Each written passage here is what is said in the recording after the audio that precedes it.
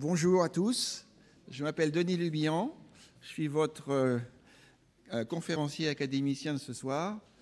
Et euh, j'ai le grand honneur de vous parler du cerveau pendant deux heures.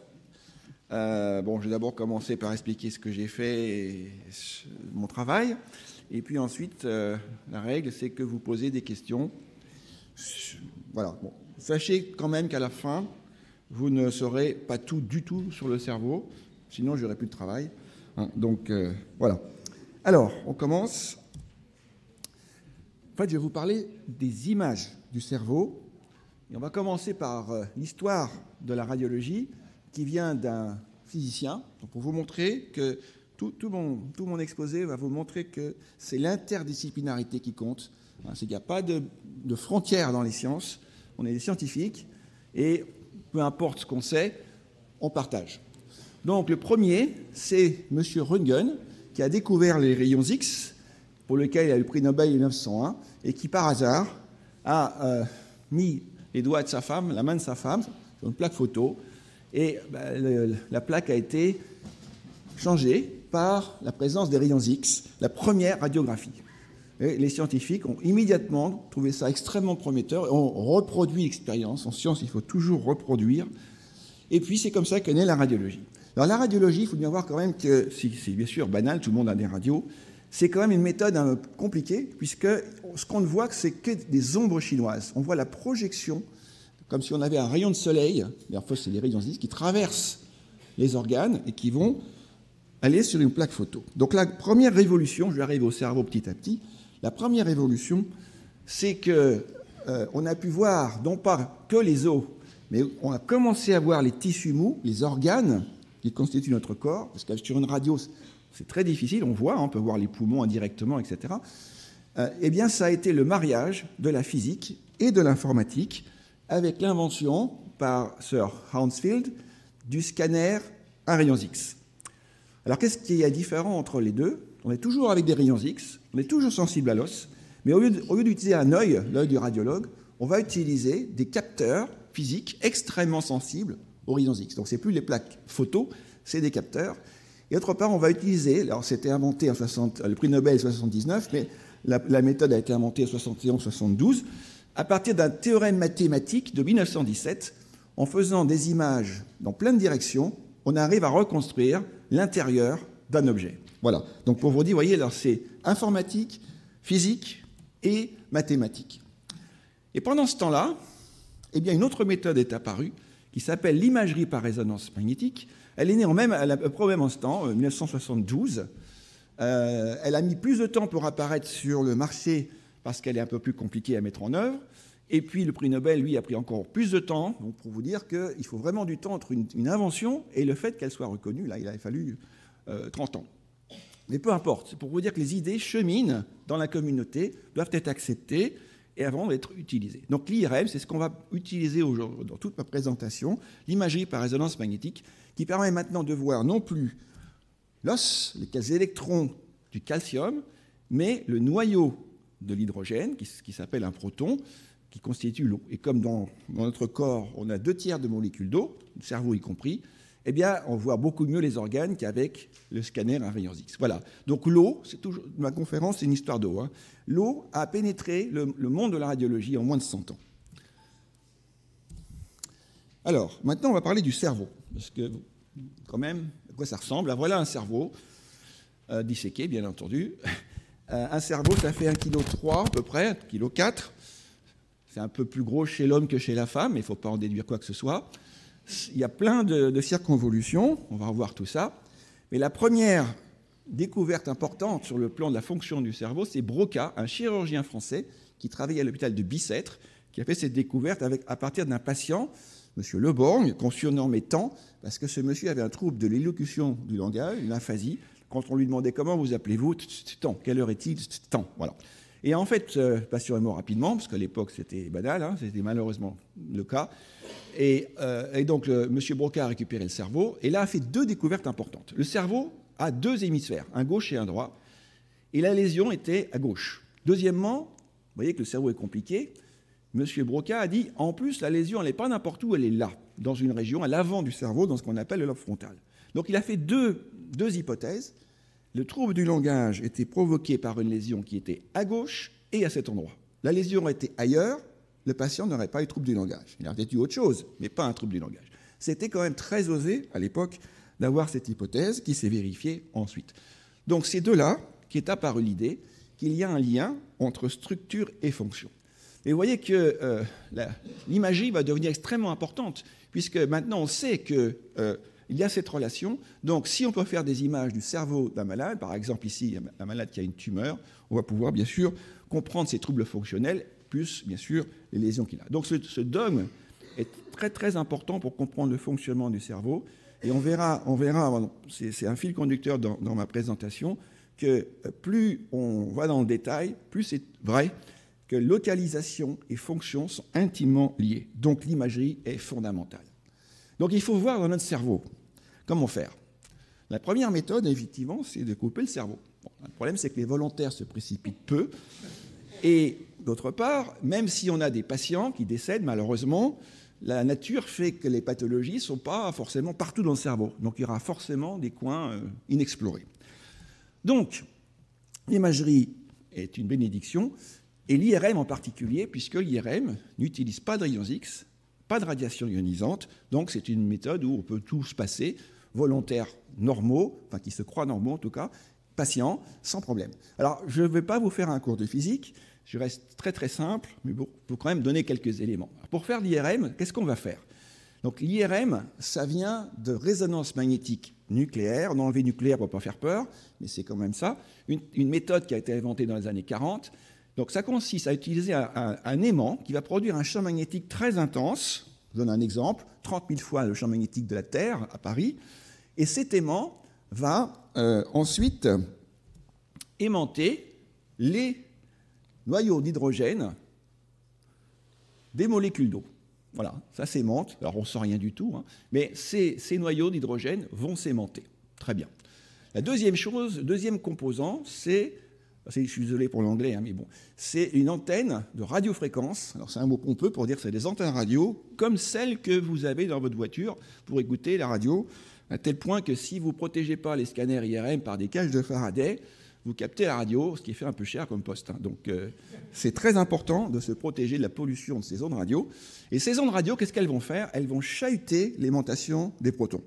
Donc en permanence, on va envoyer une bouffée d'impulsion radio l'alimentation des protons va s'effacer, puis elle va revenir, et quand elle va revenir, ou quand elle va changer, les protons vont réémettre des ondes qu'on va capter avec la même antenne, ou une autre antenne, peu importe, et l'ordinateur va capter les signaux de ces antennes pour faire des images. Donc voilà maintenant, là on n'est plus dans le cerveau disséqué, on est dans une image d'un de mes collègues, euh, donc tout à fait bien portant, donc une tranche de haut en bas, on voit les deux hémisphères, on voit la matière grise, on voit la matière blanche, on voit la peau, on voit même l'os, le cervelet, les petits vaisseaux sanguins. Ces trous-là, c'est parce qu'il y a du liquide céphalorachidien dans les ventricules. Donc vous voyez, on a vraiment une dissection virtuelle du cerveau euh, sans, euh, sans qu'il y ait de, euh, de radiation ionisante. Alors c'est très important de comprendre, parce que mes collègues en général oublient, tout le monde oublie, parce qu'on fait ça en routine, ce n'est pas le cerveau c'est une image, j'appelle ça un avatar magnétique du cerveau.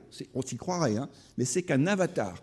Je donne un exemple. Au tout début de l'IRM, quand elle est arrivée en, France ou ailleurs, dans les années 80, on s'apercevait qu'à l'avant du cerveau, chez certaines femmes, il manquait quelque chose. Donc les gens n'osaient pas dire, bon, c'est quand même bizarre. Et en fait, ce qu'on s'est aperçu assez rapidement, c'est que ces femmes-là portaient des, des mascaras autour des yeux. Et le mascara contient des pigments et parfois des pigments de fer. Donc l'aimantation produite par l'augmentation du fer dans, les mascaras changeait le champ magnétique local, l'ordinateur perdait les pédales et donc disait bah, à cet endroit il n'y a pas de signal donc il n'y a pas de cerveau. Voilà. Donc euh, c'est un piège qui existe encore aujourd'hui. Parfois c'est beaucoup plus subtil, mais il faut savoir que ce n'est pas l'image du cerveau, c'est un avatar. Mais grâce à cet avatar, on peut voir des tas de choses. Voici le cheminement des vaisseaux sanguins qui vont irriguer le cerveau. On en parlera tout à l'heure un petit peu. Voilà ce qui se passera tout à l'heure quand vous aurez d'idées. Le mouvement dans, le corps, donc de l'intestin, la digestion, le mouvement cardiaque, la respiration. Bon, ça c'est un petit peu accéléré. Et le héros du jour, s'il veut bien venir, non, il n'est pas venu. Bon, c'est pas grave, on le reverra. C'est le, le cerveau. Je vais essayer quand même si jamais ça marchait. Non, ça n'a pas marché, mais c'est pas grave. Oh, j'en aurai plein d'images, donc c'est pas grave.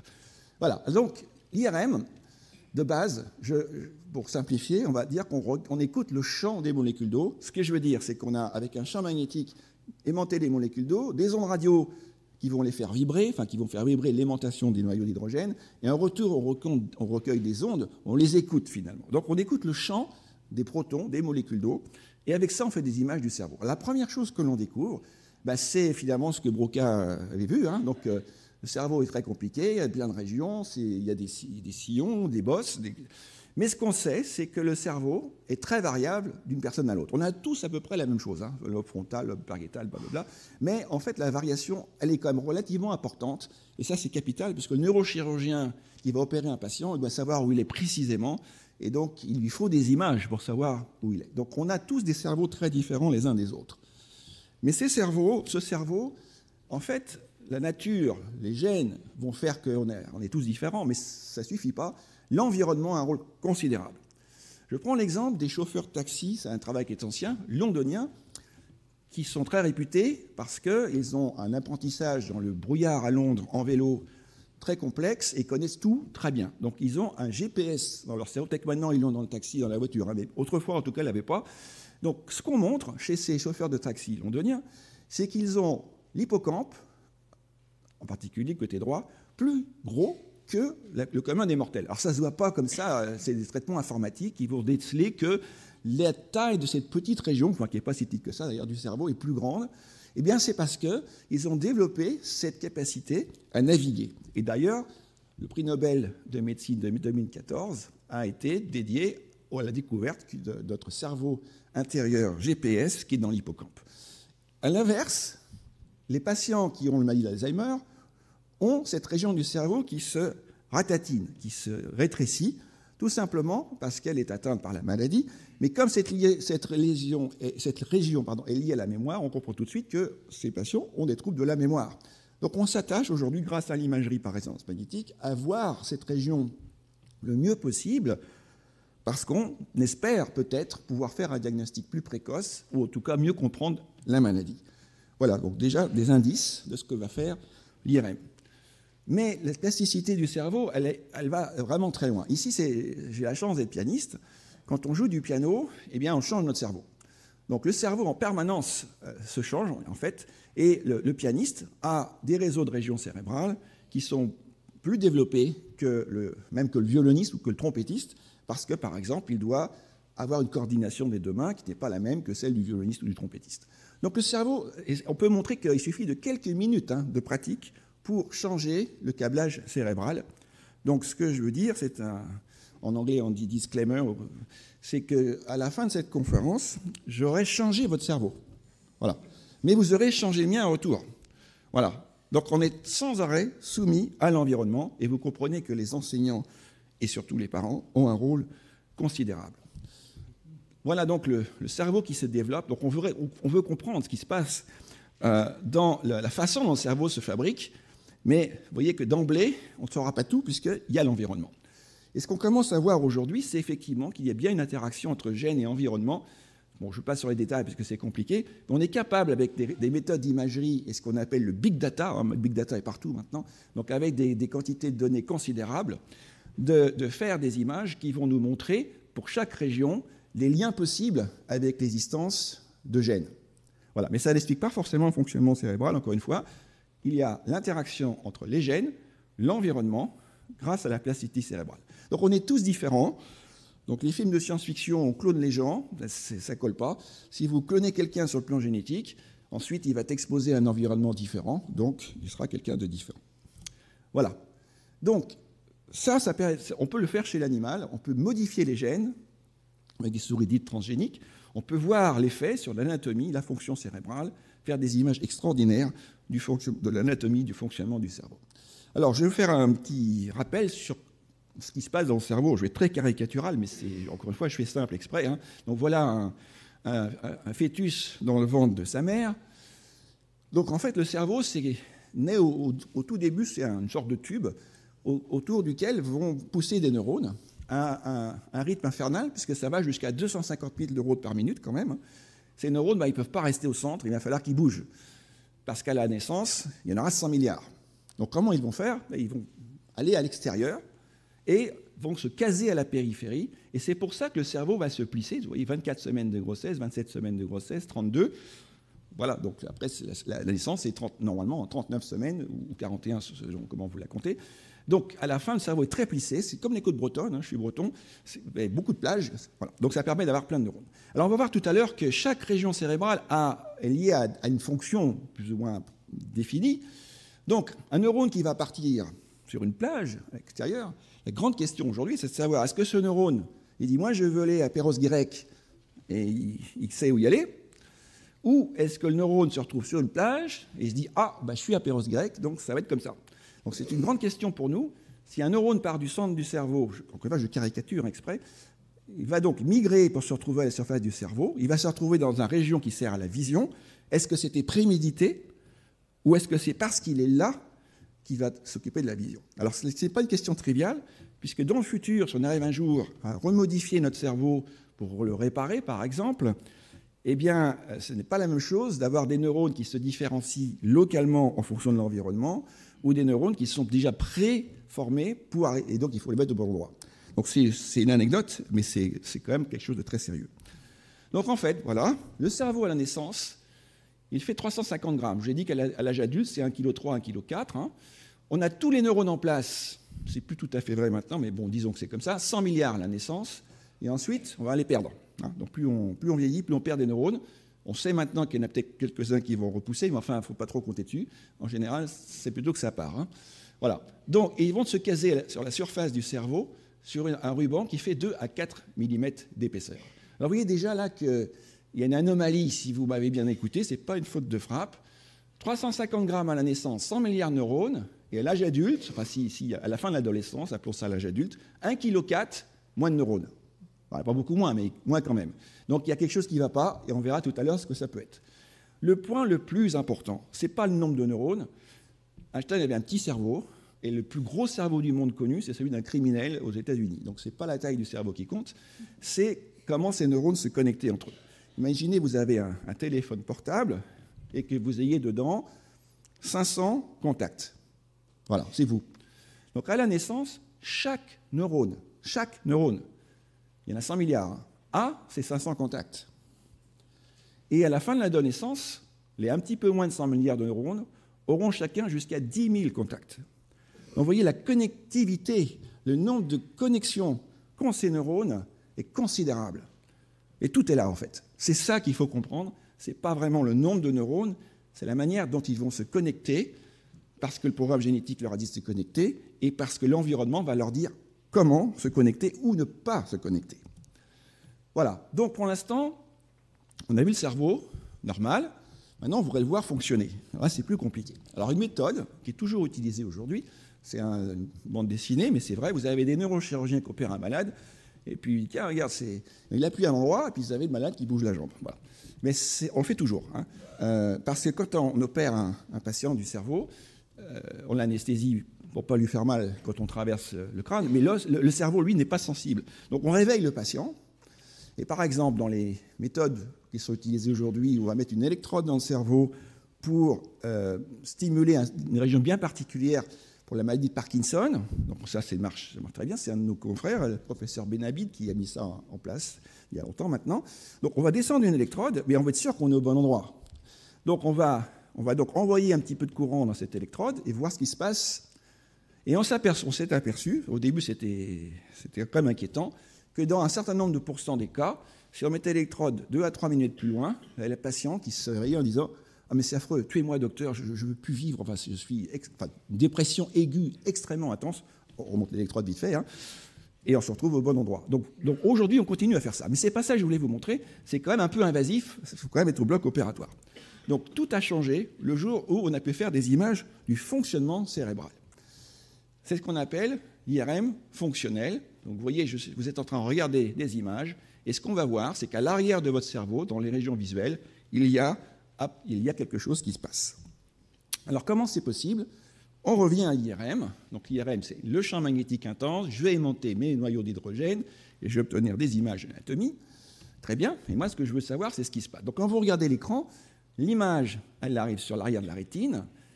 Le signal ensuite progresse dans le cerveau via les nerfs optiques. Il y a une partie qui va se croiser, mais peu importe. Ils font relais dans une petite structure qu'on appelle le corps genouillé latéral. Là, ça va à l'arrière du cerveau. Et de l'arrière du cerveau, l'information va repartir sur l'ensemble du cerveau pour dire, bah, pour comprendre ce qu'on voit. Voilà. Donc c'est ça que je veux voir. Et là, on va utiliser, alors il y a plusieurs méthodes, mais je parle aujourd'hui que de celles qui sont utilisées en routine, je ne parle pas des autres, sauf s'il y a des questions plus tard. La méthode, elle repose sur un, un miracle de la nature pour nous qui faisons de l'imagerie, c'est que dans les régions du cerveau qui sont activées, il y a une augmentation du débit sanguin. Il y a plus de sang qui va arriver localement. Ça a été montré par Roy et Sherrington euh, en 1890 et vérifié depuis. Alors, vous allez me dire, oui, d'accord, et, alors? Bon, vous savez que le sang est rouge. Mais vous savez pourquoi il est rouge? Parce qu'il y a des globules rouges. Bah, bon. Et pourquoi est-ce que les globules rouges sont rouges? Parce qu'ils contiennent de l'hémoglobine. Et l'hémoglobine contient du fer. Et il a été montré par, M. Pauling, qui a le prix Nobel en 1936, que l'hémoglobine, selon qu'elle portait ou pas de l'oxygène, avait des propriétés magnétiques différentes à cause de son atome de fer. Donc je vous rappelle quand même que les globules rouges, leur rôle, c'est de transporter l'oxygène qui vient des poumons, qu'on respire, dans, dans, tous les organes, cerveau y compris. Donc, en gros, l'idée, c'est que les globules rouges contiennent de l'hémoglobine qui contient du fer, et donc c'est des petits aimants qui circulent en permanence dans nos, vaisseaux sanguins, dans les petits vaisseaux sanguins. Et les molécules d'eau qui sont autour, elles voient le champ magnétique énorme de l'aimant, mais localement, elles voient leur champ magnétique perturbé par le passage de ces globules rouges. Donc si le débit sanguin augmente dans une région donnée, l'aimantation va changer un peu plus et on va voir que le signal qu'on va récupérer par nos antennes est un petit peu différent à cet endroit précisément. Donc on va en déduire, ah, ah, c'est parce qu'il y a une augmentation de débit sanguin. C'est donc que cette personne-là est en train d'activer ce bout de cerveau. Et c'est mon collègue Seiji Ogawa qui a inventé cette méthode qui s'appelle en anglais Blood Oxygen Level Dependent fMRI. Voilà, donc je ne parlais que de cette méthode aujourd'hui, mais il y en a, d'autres. Donc voilà ce qu'on fait. Une image maintenant fonctionnelle, donc il y a des couleurs qui arrivent. Donc ça, c'est l'avant du cerveau, l'arrière du cerveau, qui passe au-dessus des yeux. Et ce qu'on voit magnifiquement, c'est la région, les régions visuelles sont activées. Et vous voyez, même ici les deux petites taches, sont les corps genouillés latéraux. Donc qu'est-ce qui s'est passé quand cette personne a vu un stimulus? Eh bien, visuel, le débit sanguin a augmenté, l'aimantation des molécules d'eau a changé, et l'ordinateur qui regarde mes images a dit Ah, l'aimantation a changé, je vais mettre une couleur, statistiquement parlant, hein, qui va nous dire Ah, il y a des chances que là, il s'est passé quelque chose. Voilà, voilà c'est tout ce qu'on fait, hein. c'est rudimentaire, hein. c'est très très rudimentaire. Et pourtant, vous allez voir qu'avec ça, on voit beaucoup, beaucoup de choses. Première question, c'est que si vous fermez les yeux et que vous imaginez un chat, vous êtes tous capables de voir un chat. Alors, encore une fois, éducation, plasticité, c'est parce que vous avez vu un chat dans votre vie qu'on vous a expliqué que c'était un chat, etc. Donc c'est compliqué. Mais la question que je me suis posée, c'était dans les années 90 à l'époque, c'est si j'imagine un chat, où, où ça se passe dans ma tête? Est-ce que par hasard, les régions qui servent à voir le monde réel serviraient aussi à voir le monde imaginaire? Ben, On a fait l'expérience, c'est aux États-Unis, donc c'est en anglais. On disait à nos volontaires qui étaient longés dans l'aimant, chat. Et ils avaient 6 secondes pour imaginer un chat. Puis au bout de 6 secondes, une petite sonnette, stop. Au bout de 14 secondes, est-ce que votre chat avait les oreilles pointues? Donc il fallait revoir les oreilles du chat. Et qu'est-ce qu'on a observé sur nos images? Ce que je prévoyais, mais enfin c'était quand même à l'époque un peu, un peu nouveau. Donc voilà le cerveau, l'avant-l'arrière, c'est une coupe qui passe presque par le milieu. Et voilà ce qu'on appelle le cortex visuel primaire, qui a le nom de code V1, qui est câblé directement sur la rétine des yeux. Eh bien, ce qu'on montre, c'est que, alors je vais jusqu'au bout, mais après je ne dirai plus tout ça, c'est que la personne, quand elle imagine le chat, elle augmente l'aimantation des molécules d'eau de cette région. C'est quand même fort, hein Penser à un chat change l'aimantation des molécules d'eau de cette région. Alors en fait, je triche un peu, c'est qu'en pensant au chat, localement, il y a une augmentation de débit sanguin, qui va changer l'aimantation des molécules d'eau. c'est un peu indirect, ce n'est pas la pensée qui agit sur la matière, mais enfin quand même. Voilà. Donc, ce qu'on voit, c'est que la région qui sert à voir le monde réel, V1, elle, est activée par ce monde imaginaire. Et ce qu'on montre aussi, c'est que quand on regarde les oreilles du chat dans sa tête, eh bien, l'activation est plus grande. Donc vous voyez que ça commence à être intéressant, c'est que le, monde réel et le monde imaginaire partagent des circuits. Alors, ce n'est pas complètement 100% identique, sinon on ne ferait que, pour, imaginer, hein, on ferait que des simulateurs. Encore que ce n'est pas forcément faux, parfois. Mais euh, vous voyez donc, les, on commence à avoir des informations extrêmement intéressantes. Et un de mes collègues, qui s'appelle le professeur Sadato, que d'ailleurs que je vais aller voir euh, vendredi au, Japon, lui utilisait une autre méthode à l'époque qui s'appelait la tomographie par échantillon de posito, mais je passe là-dessus. Et lui s'est aperçu que cette région visuelle primaire était activée chez des, des aveugles de naissance. Alors là, comment c'est possible? Eh bien, quand ces personnes lisent du braille avec leurs doigts, ils activent cette, cette région visuelle primaire.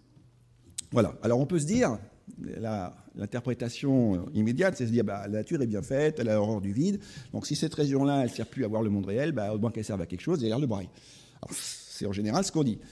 L'autre explication, que je préfère, mais qui n'est pas prouvée non plus, c'est de se dire, euh, en fait, il se passe quelque chose d'un très bas niveau ici, euh, qui sert à, à, plein de choses. Par exemple, de lier dans l'espace des points entre eux. Donc pour pouvoir imaginer un chat ou des oreilles de chat, ça fait un triangle, il faut relier les points dans l'espace pour faire une sorte de triangle. Lire du braille, c'est utiliser ses doigts pour sentir des points dans l'espace et, leur donner un sens. Donc on pourrait, on pourrait se dire qu'il y a un algorithme de bas niveau ici, et vous verrez tout à l'heure que c'est important dans ce que je vous dirai, qui pourrait être responsable de cette, euh, ce liage dans l'espace. C'est une théorie. Voilà. Mais notre cerveau, malheureusement, il est buggé, comme Microsoft. Donc ici, vous avez normalement une image construite par ordinateur qui n'y a aucun point noir. Mais vous, en voyez, et plus vous essayez de les voir, plus ils s'en vont. Hein, D'accord? Vous voyez ça? Donc c'est une image qui, qui, rend mal à l'aise. Autre exemple, ici, vous avez soit deux visages, soit un vase. D'accord? C'est connu. Mais vous ne voyez pas les deux en même temps.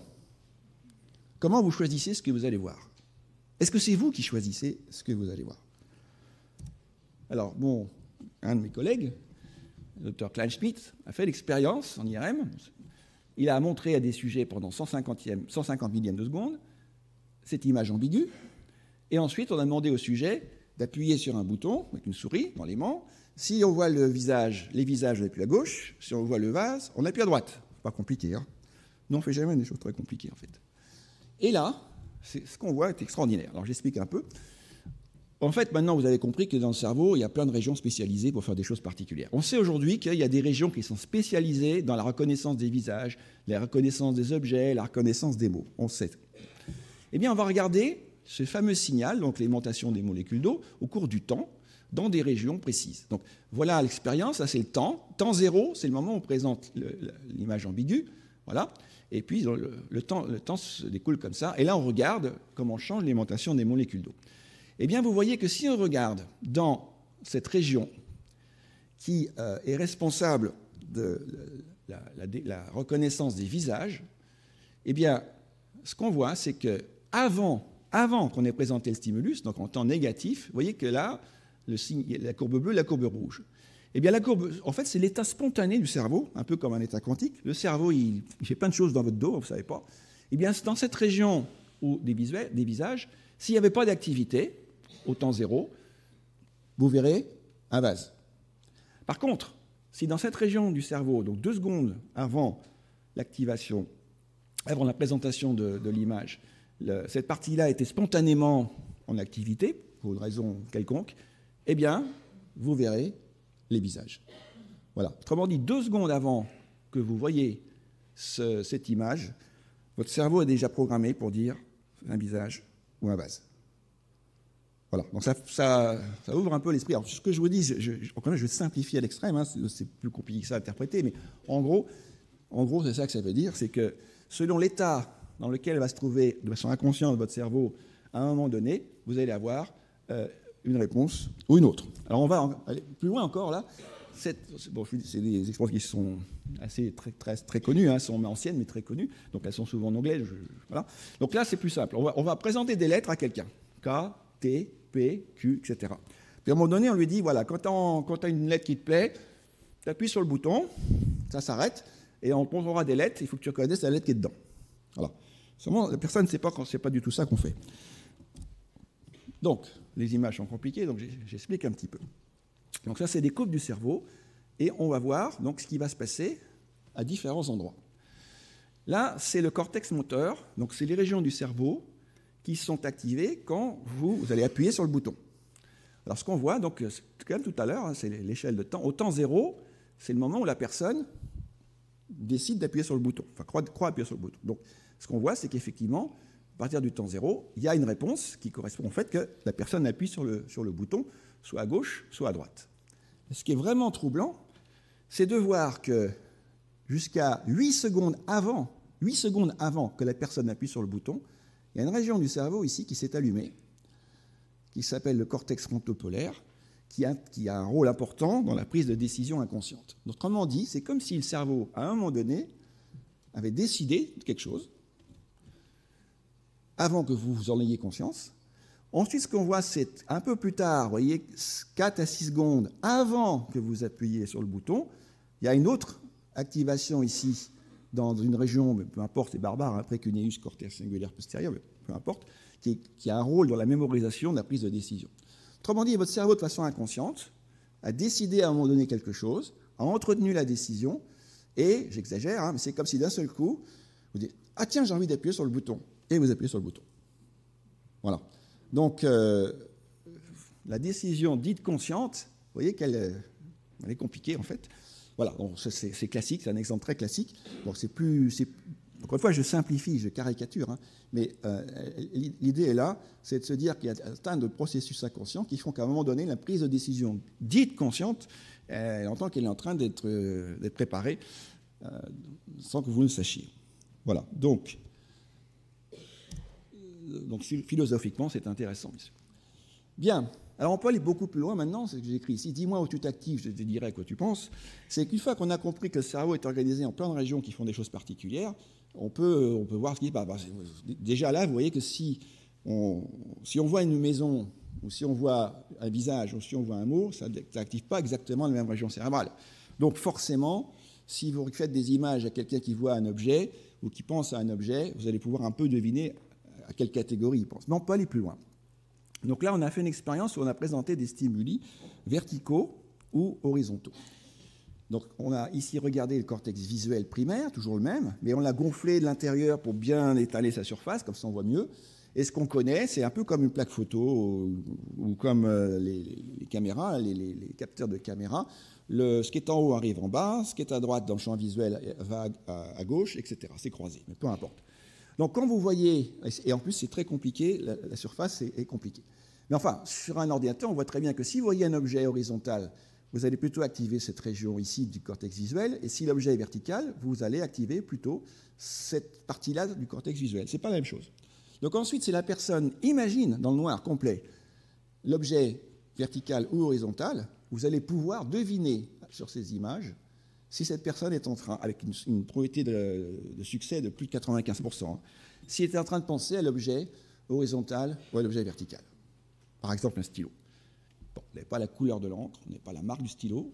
On y travaille, mais déjà là, vous avez l'orientation quand même. C'est extraordinaire. Alors depuis, ça c'est des, travaux assez anciens, avec euh, nos collègues euh, Bertrand Thirion en particulier à Neurospin, on, va beaucoup plus loin dans le decoding. On arrive à lire maintenant des lettres auxquelles une personne peut penser. Si une personne pense un M ou un L ou un H, à partir de ce qui se passe en, apprenant avec un ordinateur à lire les images, les signaux, on peut arriver à reconstituer que cette personne est en train de penser à telle lettre, à telle lettre, à telle lettre. Alors ça a été très loin, cette idée-là, parce qu'on peut aussi, j'ai un jeu, hein, mais bon, c'est quand même très important, une personne ici qui bouge les doigts, c'est le jeu euh, ciseaux, papier, pierre, hein, que les Japonais adorent. Euh, bon. Et, donc, la personne est en train de bouger les mains. Ceci, donc, bien sûr, a une connotation sur le plan d'activation des signaux d'activation dans le cortex moteur. Eh bien, si un ordinateur analyse et apprend ces signaux, on peut les envoyer après sur euh, des petits robots, des petits moteurs robots dans une main artificielle. Et vous voyez la main qui reproduit les mouvements de la personne qui, qui est dans l'aimant. Et si cette personne ne fait que penser, simplement, eh bien, vous voyez la main qui bouge toute seule, à distance, par Internet. Alors, le problème, c'est que dans un scanner IRM, c'est un peu compliqué. on peut faire ça aujourd'hui avec des, systèmes beaucoup plus légers en, enregistrant les ondes électrocéphalographiques. Alors ça va très loin puisque euh, le travail, c'est pareil, je, vous cite des classiques, il y a des tas de choses qui ont été faites depuis, mais ce travail sur, euh, qui a été montré par euh, l'équipe de Owen en 2006, chez une jeune femme de 26 ans qui avait été dans un coma végétatif après un accident de voiture. Donc cette personne, hein, c'est comme toujours, on lui demande des tests, hein, comment vous appelez-vous? Rien. Bon, on, tord, euh, on tord un peu partout, pour la personne n'a aucune réaction, rien. Bon. Et puis, euh, cette équipe-là s'est dit, tiens, on va quand même voir, on va la mettre en IRM, ce qui n'est pas évident, hein, parce que ces personnes dans, cet état-là, en général, en état de tuyau, etc., il faut que ce soit compatible avec le champ magnétique. Donc, c'est quand même pas, c'est un tour de force. Donc, ils lui ont dit, madame, comment vous appelez-vous? Et là, bien sûr, la personne ne répond pas. Ce qu'il voit dans le cerveau de cette personne-là, c'est que la région de Broca, qu'on a vue au tout début de ma conférence, s'active. Donc cette personne-là était en train de répondre à la question. On voit rien, mais personne était en train de répondre. Après, est-ce que vous pouvez imaginer que vous jouez au tennis? Rien, rien, ne se voit. Ce, qu'ils voient, c'est mes collègues là, c'est qu'il y a un certain nombre de régions cérébrales qui sont activées, les mêmes que chez quelqu'un qui imagine jouer au tennis. Madame, pouvez-vous imaginer que vous êtes en train de vous promener dans votre maison, vous regardez les fenêtres, les portes, etc. Un autre réseau, un autre réseau de régions s'active, le même que chez quelqu'un de normal. Voilà. Donc vous voyez que cette personne en commun végétatif donc, comprenait les questions visiblement répondait, entre guillemets, dans sa tête. Voilà. Donc ça, ouvre aussi euh, des horizons importants. Depuis, euh, beaucoup d'autres personnes ont, fait ces études-là, environ, environ 20% des gens arrivent à, communiquer de cette manière-là. Bon, ensuite, ce n'est pas tous les communs, hein, c'est certaines formes. Euh, cette personne-là s'est réveillée six mois après. Est-ce que c'est parce qu'elle allait se réveiller qu'elle était dans qu'on pouvait voir ça Personne ne sait aujourd'hui. Hein. Euh, mais en tout cas, c'est quelque chose qui, maintenant est Stanislas Dehaene chez nous et, euh, Lionel Nakache à la travaillent, travaillent vraiment sur ces idées qu'on peut peut-être communiquer avec ces gens dans un état végétatif. Euh. Et puis surtout, on s'aperçoit que ces états sont fluctuants. C'est-à-dire que là, ils ont peut-être eu la chance que cette personne était dans un état où elle pouvait faire cela. Peut-être qu'une heure après, ça n'aurait pas été possible. Hein, donc il y a des états de fluctuation. Il faut être là au bon moment. Voilà. Donc, je vous ai donné une première illustration de ce qu'était aujourd'hui l'IRM fonctionnel. Maintenant qu'on a vu les images, qu'on a étudié le, champ, pourquoi elle est en anglais celle-là, j'en sais rien, euh, le champ des, molécules d'eau, on va étudier leur danse. Donc ça, c'est moi quand j'avais, parce qu'on m'a dit qu'il fallait parler un peu de la vie de l'académicien, donc j'ai complètement oublié. Je parle cerveau, du cerveau en général, ça m'intéresse plus. Donc quand j'avais des cheveux en 84, euh, en train de faire les premières expériences dites de diffusion. Alors l'idée est la suivante, c'est que à l'époque, les images étaient franchement beaucoup plus horribles que ça, mais même, même ici, bon, vous êtes, il y a peut-être des médecins dans la salle, mais même si vous n'êtes pas médecin, vous voyez bien qu'il y a quelque chose qui ne va pas et que vous n'aimeriez pas avoir ça dans votre tête. Mais le problème, c'est qu'est-ce que c'est? Voilà. Donc, vous avez une tache blanche. Qu'est-ce que c'est? Est-ce que je pourrais arriver à voir à une échelle microscopique euh, ce qui se passe ici? Autrement dit, je voudrais avoir une, idée de la structure microscopique des tissus biologiques à partir d'images qui ont, eux, une précision, elles, une précision du millimètre. Donc c'est ça que, j'ai inventé dans les années 80, qui s'appelle l'imagerie de diffusion. Et pour ça, j'ai été voir, et la recherche est toujours ça, aller voir le travail des autres. Et en particulier, M. Brown, qui a découvert le mouvement brownien sous son microscope. Il avait observé que toutes les particules, le pollen, tremblaient comme ça. Il pensait même que c'était le secret de la vie. Après, il a aperçu que c'est n'importe quelle particule, même pas vivante, qui avait ça. Donc ce mouvement, c'est un mouvement qui existe en permanence. Donc mon idée, ça a été de se dire, ben, les molécules d'eau, je vais regarder comment elles bougent. Elles sont aussi sensibles au mouvement brownien. Donc si je peux faire des images du mouvement brownien des molécules d'eau, les molécules d'eau, elles vont rencontrer des obstacles, les, parois des, cellules, des fibres. Donc elles vont pouvoir, c'est des espionnes finalement, elles vont me dire ah là, c'est assez compact par là, ou là ça, ça circule bien. Donc je vais avoir une information gratuite à partir d'images millimétriques sur l'échelle microscopique. Et j'ai copié aussi sur quelqu'un d'autre qui s'appelle M. Einstein, qui a fait, vous ne savez peut-être pas, en, 1905, il a publié quatre articles monumentaux, hein, E égale MC2, euh, etc. Mais il a aussi fait sa thèse de physique euh, en même temps, parce qu'il avait du temps. Euh, et, donc c'est lui qui a été le premier à écrire la théorie de la diffusion en partir de brownien. À l'époque, il y avait personne ne pensait que la diffusion, la diffusion, vous mettez du, un liquide rouge dans de l'eau, ça se mélange hein, au bout d'un certain temps, c'est ça la diffusion, mais personne n'avait pensé que c'était du brownien. C'est Einstein qui a trouvé ça. Et ce qui est extraordinaire, on fait une petite parenthèse là, Einstein ne s'intéressait pas à la diffusion gratuitement. Il s'intéressait à la diffusion pour prouver l'existence d'atomes. À son époque, en 1905, la moitié des scientifiques ne croyaient même pas que les atomes existaient. Boltzmann s'est suicidé en 1906 parce que la pression était trop forte de ses collègues, dire mais ta théorie là, c'est pas possible. Donc vous voyez, c'était quand même un peu chaud. Et, euh, et donc Einstein s'est dit si ces atomes existent, ils ont, supposons qu'ils aient ce mouvement brownien, alors je peux, je peux prédire quelque chose, je peux écrire une équation, et si les résultats de cette équation sont vérifiés par l'expérience, indirectement, je vais déduire qu'il y a des atomes. Donc encore une fois, lui, il observait le mouvement de diffusion macroscopique, et il voulait en déduire l'existence d'atomes qu'on ne pouvait pas voir à l'échelle microscopique. C'est la même idée ici. On a une échelle millimétrique, je ne vois rien, mais je voudrais savoir ce qui se passe à l'échelle microscopique, et pour ça, j'utilise la diffusion de l'eau. Voilà. Alors, je ne vais pas vous expliquer comment ça marche en détail. C'est le grimoire de l'époque. Ça va un peu trop vite. Le grimoire de l'époque. Donc, à l'époque, il n'y avait même pas d'ordinateur. Enfin, c'était. Je ne sais pas si vieux que ça quand même. Enfin, voilà. Euh, donc c'était souvent fait à la main. Donc ce qu'on va faire, c'est qu'on va changer, au lieu d'avoir un champ magnétique extrêmement homogène, parfait, on va le faire varier, de gauche à droite, d'avant en arrière, de haut en bas. Donc les molécules d'eau qui se promènent dans cet environnement, elles vont voir leur aimantation changer, et ça va se traduire forcément sur les ondes qu'on va recueillir. Donc encore une fois, je passe sur les détails, mais ça marche très bien. Alors là, je fais une parenthèse pour vous dire qu'il n'y a pas beaucoup de lycéens dans la salle, il faut écouter son prof de physique. Ça, c'était j'étais en classe de troisième. Euh, et mon professeur de physique, M. Gendreau, nous avait fait un cours où il a dit à peu près la même chose que ce monsieur-là, que la structure de la molécule d'eau, c'est l'essence de toute la vie. Et en particulier ce foutu angle de 105 degrés. Ça m'est resté là-dedans. Et ben voilà, je travaille dessus. Effectivement, il avait raison, mais je crois que personne ne savait pourquoi, et je crois qu'on ne sait toujours pas d'ailleurs pourquoi c'est si important.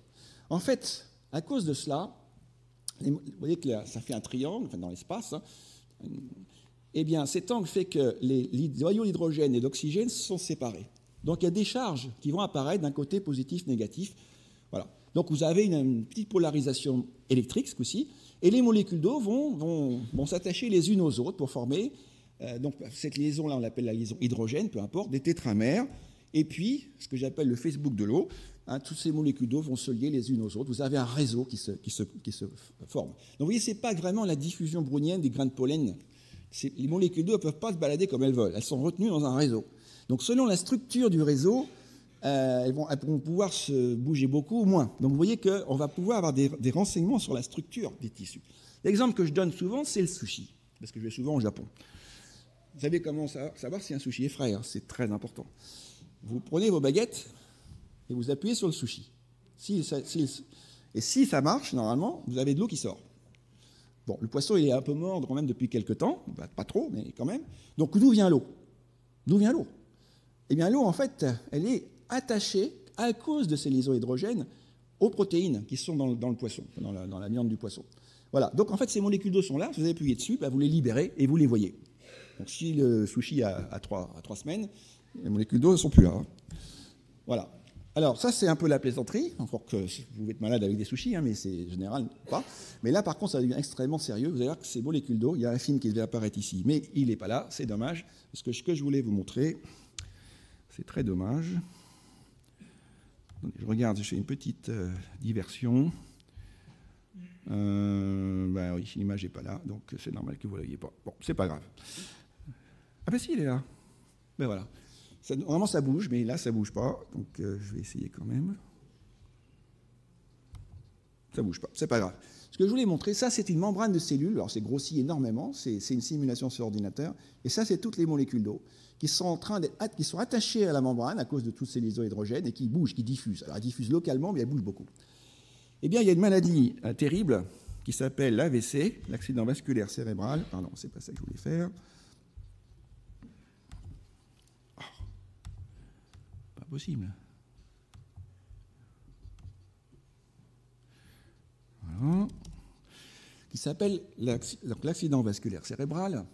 C'est une catastrophe, vous le savez sans doute, c'est une urgence absolue. C'est la troisième cause de décès en France et dans les pays comme la France. La première cause d'handicap à long terme, énorme, disabilities sont trop. Voilà. En fait, ce qui se passe, c'est qu'il y a un, petit caillot qui va venir boucher une artère du cerveau. Donc c'est ce qu'on voit sur ces images IRM. Mais si vous faites des images du champ IRM, des images classiques d'IRM, vous ne voyez rien du tout. Hein. Le cerveau est normal.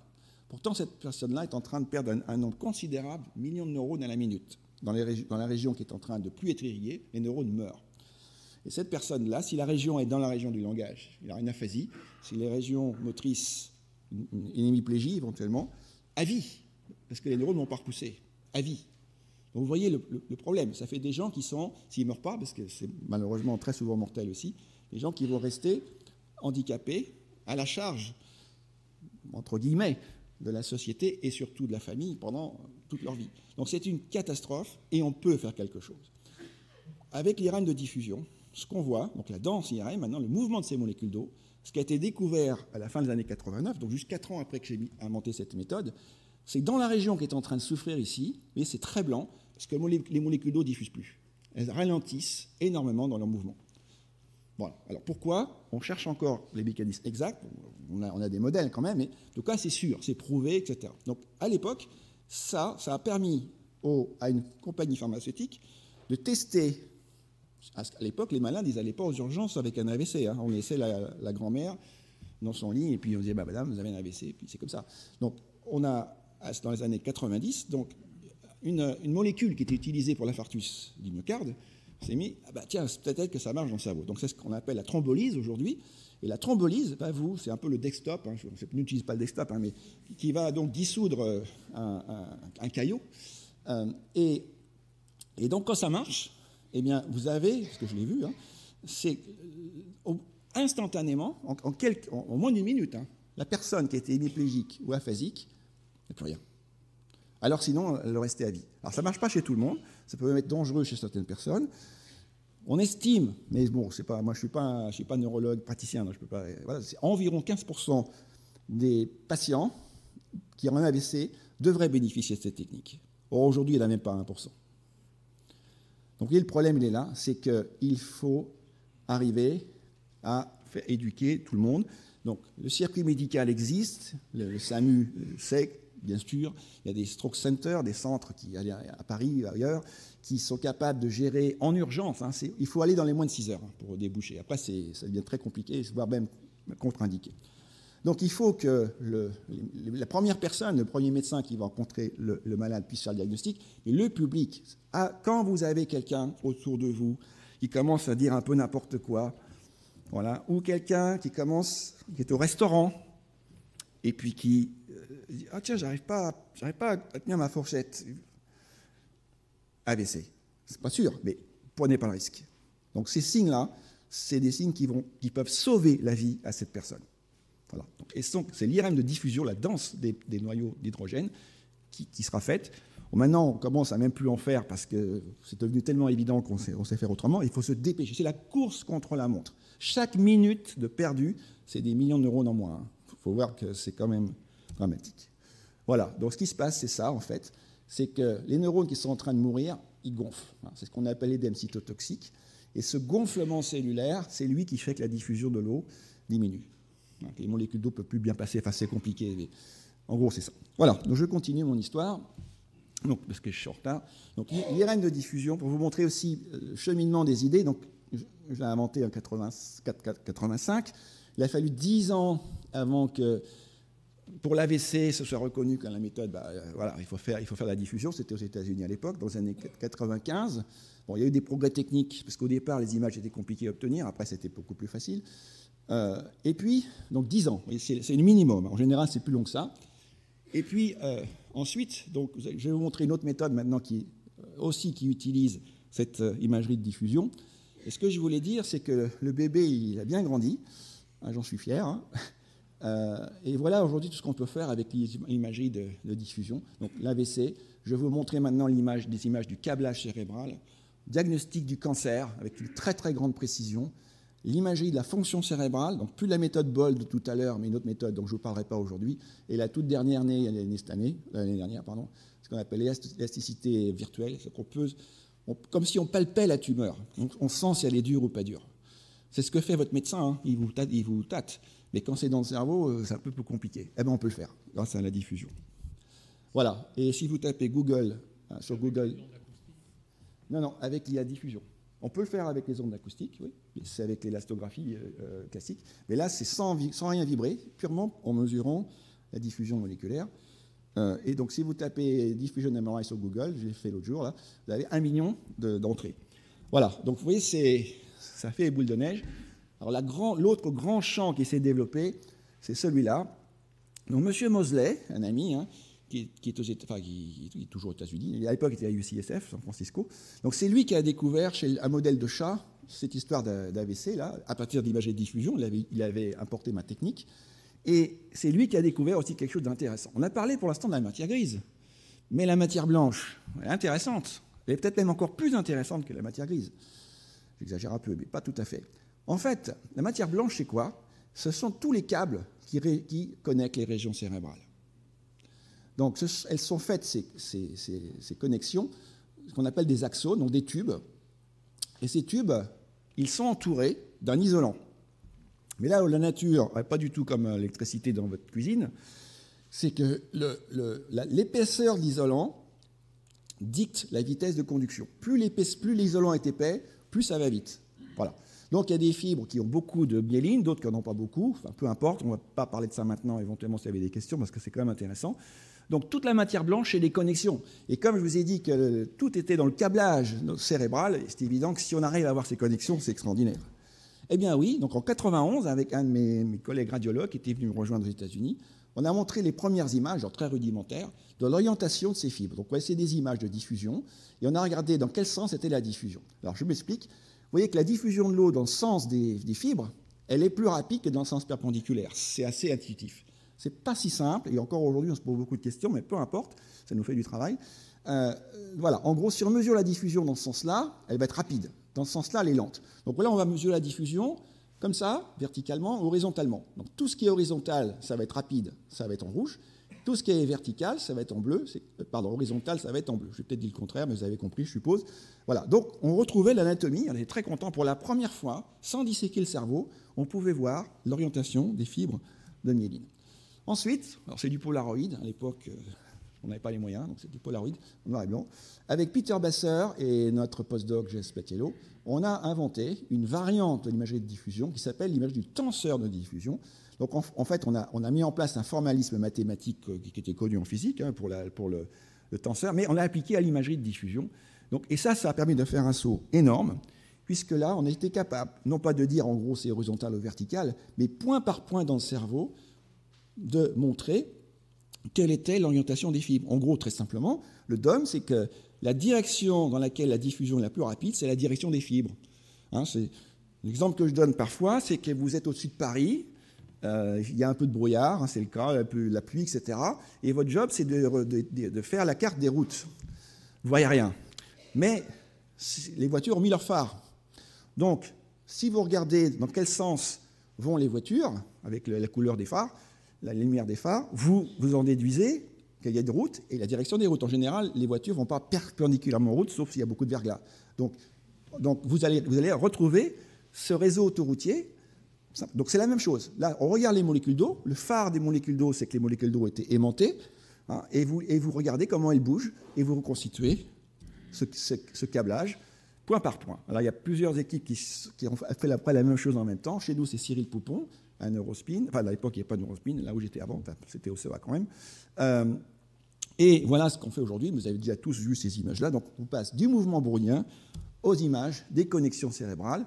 Aux États-Unis, ils ont mis 30 millions de dollars sur la table pour, faire pour établir les, connexions dans le cerveau. Vous voyez que ça ressemble beaucoup à, ce qu'on voit dans les, dans les, livres à Air France, etc., les hubs pour les aéroports. Hein. Donc, euh, euh, c'est comme ça dans le cerveau. Vous avez des régions de, concentration des, connexions, etc.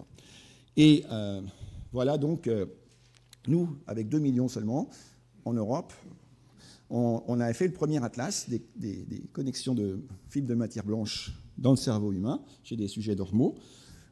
Et voilà ce que ça donne. Hein. Donc on a aujourd'hui, ça vous, prend un quart d'heure, hein. vous allez dans une machine IRM, faites l'imagerie de diffusion avec euh, cette méthode-là, et vous reconstituez avec une précision extraordinaire le, câblage intracérébral Alors je dis parfois que la matière blanche a pris des couleurs. Euh, alors les couleurs, c'est artificiel, hein, on est bien d'accord, c'est que euh, c'est le théorème des quatre couleurs. Hein, c'est, voilà, si les couleurs, l'ordinateur, le, software, on part de là, bon, on va dire celui-là, on, va le mettre en rouge, mais pouvoir séparer tous, on est obligé de changer de couleur. Donc c'est comme une carte de géographie, hein, c'est complètement artificiel, mais c'est quand même très beau. Avouez que, voilà. Euh, donc récemment, Van Wieden au MIT a fait ça chez le primate. Bon, il a une théorie que tout le monde n'aime pas, mais enfin peu importe. Euh, qui, expliquerait que le câblage cérébral, c'est comme dans les plafonds, euh, dans les bâtiments, où vous avez tous les câbles qui sont dans des, dans des nattes, etc. Bon, c'est à voir. Et puis ça fait aussi des choses intéressantes, surtout pour comprendre le cerveau. Donc dans la schizophrénie, non, pas toutes les schizophrénies, hein, c'est quelque chose de très compliqué, dans certaines pathologies, certains patients, eh bien on s'est aperçu que le cerveau est normal, anatomiquement, ou rien. Bon, vous savez que les schizophrènes entendent des voix. La plupart d'entre eux entendent des voix. Donc on a fait d'IRM fonctionnel des régions auditives. Eh bien, ils entendent des voix. Donc vous me dites, bah, c'était moi qui les entends pas. Euh, donc, vous voyez, tout ça, c'est cohérent. Alors, pourtant, le pauvre, il est malade. Eh bien, c'est certains patients, on s'aperçoit que ce qui ne va pas, ce sont les connexions entre différentes régions cérébrales, en particulier les, régions frontales et, les, régions, euh, la région temporale, donc il y a des connexions qui ne sont pas effectives, qui sont défectueuses, si vous voulez. Alors c'est pareil, c'est une théorie euh, que, j'appelle hand waving, qui, mérite d'être vraiment euh, confirmée et, peaufinée, mais peu importe. L'idée, ce serait que les informations circulant mal, un peu comme le RER, e donc vous avez des retards, et, donc, comme vous savez tout à l'heure que quand une décision inconsciente est prise euh, à l'avant du cerveau, 8 secondes avant que vous ayez compris ce que, ce, que, le cerveau voulait que vous fassiez, si j'ose dire. Vous voyez que si, si vos 20 secondes, euh, on ne sait plus très bien ce qui se passe. C'est un peu comme si vous regardiez un film à la télé avec le son et l'image euh, décalés dans le temps. On n'est pas très bien. Et surtout si c'est 24 heures sur 24, 7 jours sur 7. Voilà, alors c'est une théorie, hein. je ne dis pas que c'est. On a, expliqué la schizophrénie, surtout peut dire ça, et ce n'est pas toutes les schizophrénies non plus. Mais vous voyez donc, en fait, on se parle tout le temps. Hein, quand on lit un livre, euh, on, parle, on se parle, mais on sait que c'est nous. On ne dit pas que c'est Dieu qui nous a ou que quelqu'un nous a implanté une puce dans le cerveau ou quelque chose comme ça. Voilà. Donc euh, euh, voilà ce que ça montre aujourd'hui. Ce qu'on voit aussi, c'est que ces fibres, elles existent dès la naissance, même avant. donc c'est un travail de, Jessica Dubois chez nous à Neurospin et de son équipe. Donc là, ils ont regardé le câblage dans les régions du langage, chez un bébé de 2 à 4 mois. Normalement, les bébés de 2 à 4 mois ne parlent pas. Hein. Ça prend beaucoup plus de temps avant qu'ils commencent à parler. Mais malgré ça, dans l'hémisphère gauche, euh, dans certains, faisceaux, sont déjà plus développés à gauche euh, qu'à droite. Euh, donc le cerveau, il est préparé au langage. Un peu comme vous achetez une télé, elle est prête à recevoir toutes les chaînes, il faut, juste la programmer, mais elle est prête. le bébé, il est né câblé, cable ready. Et là, ensuite, il va apprendre le risque, c'est que, je vous ai dit que ces, connexions se font et se défont dans le temps. Donc s'il y a des âges critiques, s'il y a des choses qui ne sont pas faites au bon âge, les connexions vont se perdre. Voilà. La dyslexie, on n'a pas beaucoup de temps, donc je vais avancer. Euh, et puis ce que ça fait aussi, c'est très belles images pour le, station de métro de Paris. On est fiers quand même quand vous avez inventé un truc et puis qu'après vous voyez que ça tapisse les stations de métro, c'est quand même bien. Voilà. Bien. Alors, Là, je fais un peu de, propagande pour euh, ma, vision des choses. Donc aujourd'hui, on est là. On a des images qui font 1 mm, mais grâce à, la diffusion, indirectement, on peut voir ce qui se passe au niveau du micro, mais enfin, c'est très, indirect. On voit le cerveau qui fonctionne, on voit le câblage. Vous me direz, bah alors, qu'est-ce que vous êtes flottant? Ben non, parce qu'en fait, je vais aller plus loin. On a des gènes et comme je vous ai dit, les gènes, ça ne suffit pas. Je donne la, preuve ici. On a environ 22 000 gènes. Vous voir que le, grain de riz, on a plus que nous. Hein, ça rend humble quand même. Euh, donc, on a 100 euh, milliards de neurones. Bon. Et on a chaque neurone qui peut se connecter jusqu'à 10 000 autres neurones. Donc, vous avez une connectique là qui est bien supérieure à ce que, peut proposer, que peuvent proposer les gènes. Bien sûr, il y a l'expression génétique, etc. Mais quand même, il y a un décalage. Donc, les gènes ne peuvent pas tout expliquer. Donc, euh, un schéma que je caricature aussi ici est le suivant, qui s'appelle ça pompeusement le code neural. Ce serait de se dire, et je ne sais pas pourquoi il y a de l'anglais et du français mélangé, je devais être un peu sous le jour où j'ai écrit ça, mais peu importe. Euh, donc, euh, je vous ai expliqué que le, cerveau était constitué de régions. En fait, en 1908, M. Brodmann a disséqué la moitié d'un cerveau d'une grand-mère, qui était décédée, hein, et il a regardé au microscope et il s'est aperçu la chose suivante. C'est que d'une région à l'autre, les cellules n'étaient pas du tout organisées de la même manière. Et ça change brutalement. La forme des cellules, le nombre de cellules, comment elles sont mises dans l'espace, ça change énormément. Voilà. Et il a identifié une cinquantaine de régions qu'on appelle les aires de Brodmann. Voilà. Donc, euh, l'ère 17, l'ère 46. Et donc, tout le monde aujourd'hui, quand il trouve quelque chose qui s'allume sur une image, il tasse, il déforme ces images comme il peut pour fitter avec le demi-cerveau de la grand-mère de 1908. C'est ça que tout le monde fait aujourd'hui, hein, je, vous le dis. Hein. Voilà, donc c'est le recalage, donc, euh, n'est-ce pas, M. Frakoviak euh, Donc on essaye de, se dire où on est dans l'espace, on utilise ça. Donc l'idée est quand même bonne, si on ne le ferait pas, mais vous voyez que c'est quand même un peu artificiel, et, euh, et, puis chacun a sa propre carte, puisque vous savez maintenant qu'on est tous différents les uns des autres. Donc l'idée est la suivante, c'est est-ce que le cerveau ne serait pas constitué de briques élémentaires, mais plus petites que ça encore, qui auraient un rôle fonctionnel bien précis, et ces petites briques élémentaires, elles sont mises en relation dans l'espace et dans le temps pour faire apparaître une fonction supérieure, ou pas si supérieure que ça.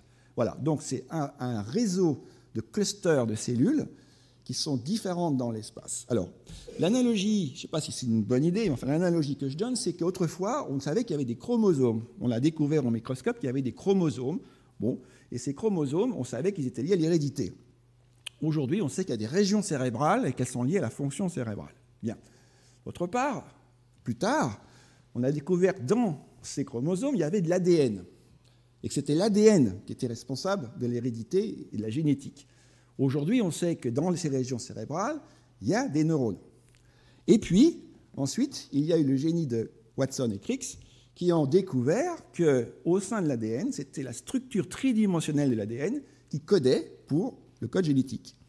Eh bien, pourquoi est-ce qu'on ne pourrait pas imaginer qu'au sein de chaque région cérébrale, c'est l'organisation tridimensionnelle des neurones, mais pas que des neurones, hein, dans l'ensemble, qui est responsable de cette fonction. Alors on le sait déjà un peu dans le cortex visuel, hein, c'est les travaux du Bell et Wiesel, ils ont le prix Nobel pour ça, dans les années 60, on sait très bien que le cerveau est organisé de manière extrêmement particulière et que ça code pour la vision, ça ne veut pas coder pour autre chose. Voilà. Donc, est-ce que tout le cerveau ne serait pas fait comme ça? Donc on aurait un ensemble de régions cérébrales. Et là, ce qui est extraordinaire, c'est qu'un papier qui est sorti avec le Human Codectome Project, donc ils ont quand même utilisé les 30 millions de dollars plus que pour faire un atlas des connexions cérébrales, nos collègues américains. Donc ils ont montré avec l'IRM qu'ils pouvaient identifier environ 180 régions différentes. Donc on n'est plus à 50. Là, c'est plus un cerveau de grand-mère, c'est des sujets vivants, des, sujets volontaires normaux. Donc il y aurait à peu près 200 régions différentes. Voilà, c'est tout ce que ça dit, des régions différentes. Donc maintenant, est-ce est-ce qu'on ne pourrait pas voir le câblage, voir ce qui se passe dans ces régions pour déchiffrer ce code neural. Et c'est ça qui a présidé à la construction de, mon institution qui s'appelle Neurospin, avec un potentiel énorme. C'est qu'une fois que vous avez compris tout ça, si c'est vrai, hein, peut-être que je me trompe complètement, mais la recherche, prendre des risques, hein, eh bien, mieux comprendre certaines pathologies, la psychiatrie en particulier, en particulier, éventuellement reprogrammer certains circuits cérébraux, donc après un AVC, après un traumatisme, et puis on arrive sur ce qu'on appelle aujourd'hui pompeusement la médecine personnalisée. Je ne sais pas trop ce que ça veut dire, mais enfin en tout cas, chacun est différent de l'autre. Voilà. Donc il faut arriver, pour ça, il faut arriver à voir l'intérieur de ces régions et donc descendre à une échelle que j'appelle mésoscopique, intermédiaire, de l'ordre du, centième, euh, euh, du dixième de millimètre, 100 microns. Donc pour ça, il va falloir un instrument qu'on n'a pas encore aujourd'hui. Voilà les, éléments du CERN, là où a été découvert le boson de Higgs, donc des aimants extraordinaires. Et ça, c'est un de mes collègues là. Vous voyez que l'aimant, il est gros. Hein. Voilà. Donc, ils ont découvert le, boson de Higgs, a d'autres choses. Et puis, euh, dans le futur, on s'intéresse, et c'est le projet ITER, à la fusion thermonucléaire. Donc, en tout cas, les collègues du CEA en particulier sont des gens qui connaissent très très bien les aimants et la cryogénie, puisque ces aimants sont refroidis à moins de 169 degrés, 4 degrés au-dessus du, zéro absolu. Et bien, je suis allé les voir. Vous faites des aimants gigantesques. Les aimants du LHC, c'est 27 km. Hein. Est-ce que vous pouvez m'en faire une petite tranche? Voilà, pour faire un aimant pour l'IRM, pour explorer le cerveau à une échelle qu'on n'a jamais atteinte aujourd'hui. Donc les champs magnétiques qu'on utilise, je vous dis tout, tout à l'heure, c'était 30 000 fois le champ terrestre, c'est les machines qu'on trouve à l'hôpital, jusqu'à 60 000 fois. Là, l'idée, c'est de monter à 223 000 fois le champ terrestre. Donc, vous voyez qu'on passe d'aimants qui s'intéressent aux bosons futur la, la, fusion thermonucléaire, et puis entre les deux, donc des aimants. Alors en fait, ce n'est pas une plaisanterie, c'est que nos collègues ont utilisé les designs conçus pour les aimants du CERN pour concevoir le premier aimant au monde qui va être utilisé pour l'homme à 11,7 Tesla. L'aimant est pratiquement terminé. Il devrait arriver au printemps à un Eurospin. Il est fabriqué à l'usine Alstom de Belfort sur les plans du CEA. Vous voyez donc en fait c'est un aimant qui est conçu euh, avec des doubles galettes. Donc c'est un fil très particulier qu'on a fait sur mesure aux États-Unis qui, a un brin de nobium titane. Donc c'est un fil qui conduit le courant de façon sans résistance à la température euh, très, très froide, donc 4, 4 degrés au niveau du, zéro absolu. Vous allez voir que c'est pire que ça. Et ce fil-là, donc c'est quand même important, mais c'est ça le fil, hein. il est quand même assez épais. On va le bobiner pour faire une galette, une double galette, c'est la saison, hein, euh, de, 2 mètres de large. Mais c'est le, design des aimants du CERN hein, qui a permis de trouver le besoin de Higgs quand même. Il faut vous dire, c'est quand même très lié. Voilà. Et on va en mettre 170. Et l'empilement, la précision de l'empilement, vous voyez, ça c'est une pièce de monnaie. La... Il ne faut pas que ça dépasse cette épaisseur-là. Vous voyez la précision. Hein. et à la fin, quand l'aimant sera en champ, il y aura 8000 tonnes de force sur cet aimant, il n'y a rien de bouger. Donc c'est un challenge. Donc l'aimant, il est entouré de, deux contre-aimants pour que le champ magnétique soit bien confiné. Voilà. Et, euh, et donc, ce que j'appelle ça, c'est l'explorateur du cerveau humain. L'aimant va être refroidi, non pas à 4,2 Kelvin, comme tous les aimants d'IRM à peu près, mais à une température de 1,8 Kelvin, c'est-à-dire en fait à une température plus froide que le vide de l'univers. À, cette température-là, non seulement l'hélium, euh, le, fil sera supraconducteur, mais l'hélium sera suprafluide. Ça veut dire que s'il y a une production de chaleur quelque part, elle sera instantanément évacuée. Sinon, vous avez ce qu'on appelle un risque de quench. Donc, un Eurospin, sous l'aimant, donc il va être livré bientôt, j'espère, on a installé toute une installation de cryogénie pour fabriquer nous-mêmes notre hélium liquide à la température de 1,8 Kelvin. Voilà. Donc c'est le futur. J'espère que ça va marcher.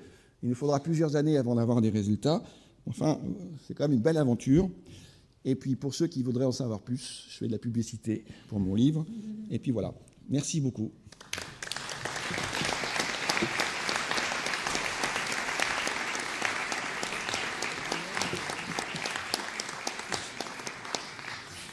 Donc si j'ai bien compris la règle du jeu, je vais m'asseoir là et j'écoute vos questions.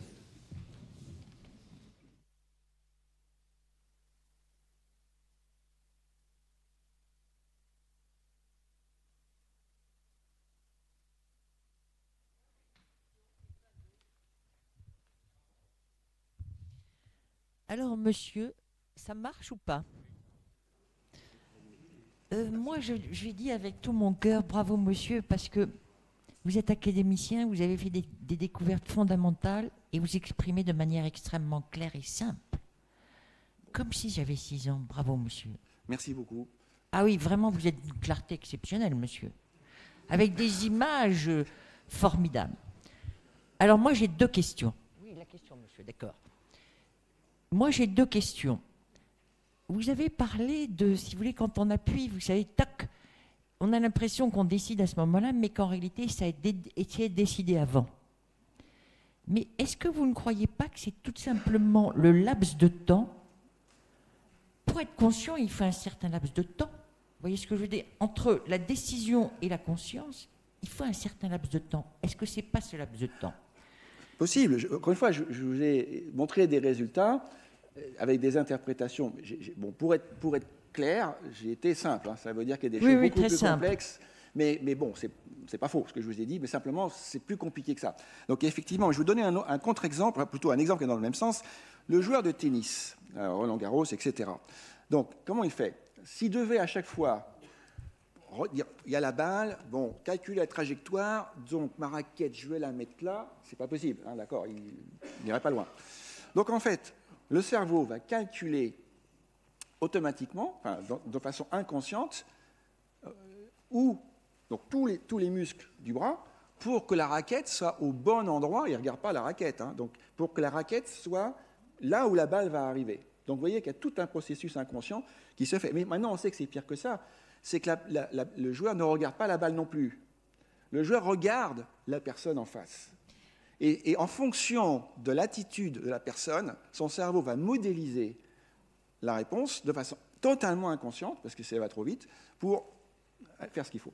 Alors bien sûr, si la personne a un jeu qui n'était pas, celui qui était prévu, le calculateur cérébral se trompe, et eh bien la, raquette ne va pas être au bon endroit. Voilà.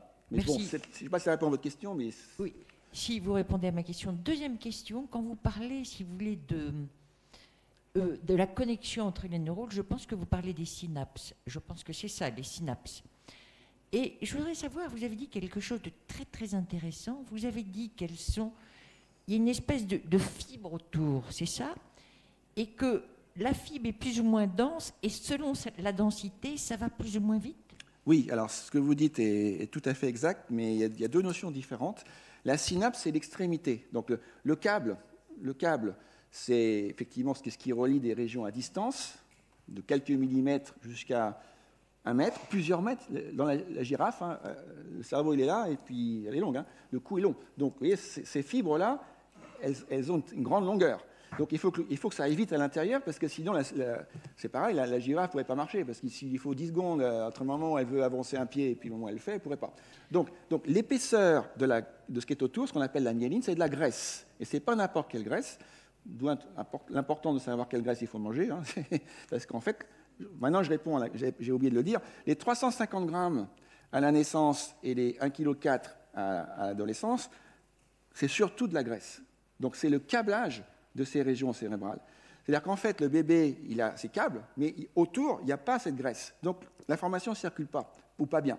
Donc au fur et à mesure que cette, euh, cette graisse va, va s'épaissir, ce qu'on appelle la myéline, l'information va pouvoir circuler beaucoup plus rapidement et les fonctions vont arriver. Alors la synapse, c'est différent. La synapse, c'est que donc le, un neurone, cellule nerveuse, donc, émet son axone, et cet axone-là va se terminer sur un autre neurone. Il y en aura 10 000. Sur, un neurone, il y en a 10 000 qui vont converger dessus. Et l'endroit où ça, ça arrive, c'est là la synapse. Et juste une chose, c'est la graisse, euh, elle est différente, par exemple, dans votre cerveau, vous qui êtes très très intelligent, et dans le mien un peu moins intelligent. La vôtre est beaucoup plus dense, c'est ça? C'est différent d'un cerveau à l'autre, c'est ça C'est différent d'un cerveau à l'autre. Et dans la schizophrénie, c'est différent d'un cerveau à l'autre. Voilà, en fait, c'est la qualité des connexions. Mais je pense que c'est ça quand même, monsieur. je pense que je vous, c'est pas qu'il y a des gens qui ont de la bonne graisse et d'autres qui ont de la mauvaise graisse. Je n'irai pas jusque-là aujourd'hui, en tout cas. oui Merci pour ce magnifique exposé. Je me demandais si 12 Tesla, ça commence pas à être beaucoup en termes de euh, conséquences physiologiques. Est-ce que, le corps humain, on sait comment il répond à 12 Tesla Si quelqu'un veut bien passer la diapositive d'après, parce que c'est comme j'attends toujours la question. Odile Ça ne vous ennuie pas de. Voilà, c'est bon, merci. Alors en fait, les effets des champs magnétiques ont été étudiés euh, depuis longtemps, mais euh, rien n'a été authentifié. voilà. Il faut voir qu'aujourd'hui, il existe quatre forces dans la nature. Donc, la force interaction forte, l'interaction faible, donc c'est les forces nucléaires. Il y a la force euh, électromagnétique. Or, ce qui est dangereux, c'est l'électrique, pas le magnétique. Aux États-Unis, ils, tuent des gens avec des chaises électriques, pas avec des chaises magnétiques. Donc, euh, euh, c'est l'électricité. Ensuite, il y a une autre force qui, elle, tue tous les jours. Tous les jours, il y a des morts. Et pourtant, il n'y a pas de règle c'est la gravité. Donc, gravité, si vous tombez du deuxième étage, ça, fait, des dégâts. Et pourtant, on n'a jamais interdit de faire des immeubles qui font maintenant, je ne sais pas combien d'étages. Voilà. Donc, tout ça, c'est principe de précaution. Et, bien sûr, il faut faire attention. Euh, nous, on travaille sur les effets biologiques des champs magnétiques. Et si ça ne pas de, continuer à avancer la, diapositive. Voilà. Donc, euh, voilà, voilà ce qui est dangereux aujourd'hui avec l'IRM, malheureusement, et qui peut tuer. Je suis comme ça, j'arrive à Neurospin, j'ai mon stylo, j'ai mon téléphone portable, ça part à une vitesse que vous ne pouvez pas contrôler. C'est l'effet missile, ce qu'on appelle. Et malheureusement, ça peut arriver. Donc nous, on, a des règles, hein, donc euh, on n'est pas infaillible, on a des règles. Les, patients sont en pyjama, ils n'ont rien sur eux. le, personnel aussi, est, bien sûr, fait, fait tout ce qu'il faut. Voilà. Mais si vous, j'ai vu une fois aux États-Unis, je ne dirais pas où, une, infirmière qui arrive avec euh, une malade sur une chaise roulante et elle commence à rentrer dans la pièce J'ai sauté quoi, à, un mètre près, elle ne pouvait plus retenir la chaise. Donc la chaise allait se coller avec, le malade dessus. Donc je ne vous dis pas le, problème. Voilà. Donc c'est ça qui est dangereux. C'est ça qui est dangereux. Alors il faut faire attention. Donc nous travaillons. Il y a une règle, il y a une directive européenne qui a voulu interdire euh, les champs magnétiques, ils se sont aperçus plus tard que bah, ça veut dire qu'il n'y a plus d'IRM. Donc euh, on, remplace l'IRM par du scanner à rayons X, on va irradier les gens et tout, donc ça n'avait pas de sens. Bon, ils sont revenus en arrière, mais il a fallu se battre pendant plus de dix ans. Et le discours que je faisais, c'était que les, à la fin du 19e siècle, certains disaient, parce que ces gens-là, c'est les gens de Bruxelles, hein, donc euh, ils font les allers-retours en Thalys à 300 à l'heure, ça leur pose aucun problème. Mais à la fin du IXe siècle, certains disaient que le, corps humain ne pourrait pas résister au-delà de 40 km/h dans un train. Comment? C'est 1830 cette affirmation et elle a été soutenue par Arago, un de nos confrères les plus ah éminents. bon, bah alors je ne savais même pas.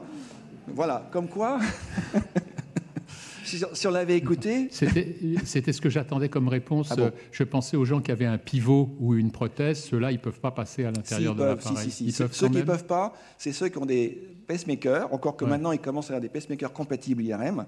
Mmh. Autrefois, les clips neurochirurgicaux, hein, ces espèces de pinces à linge qu'on met sur les artères pour éviter euh, l'hémorragie. Quand on opère, on euh, coupe des vaisseaux, donc ça, saigne, on met des petites pinces. Moi, j'étais neurochirurgien autrefois, on mettait des pinces.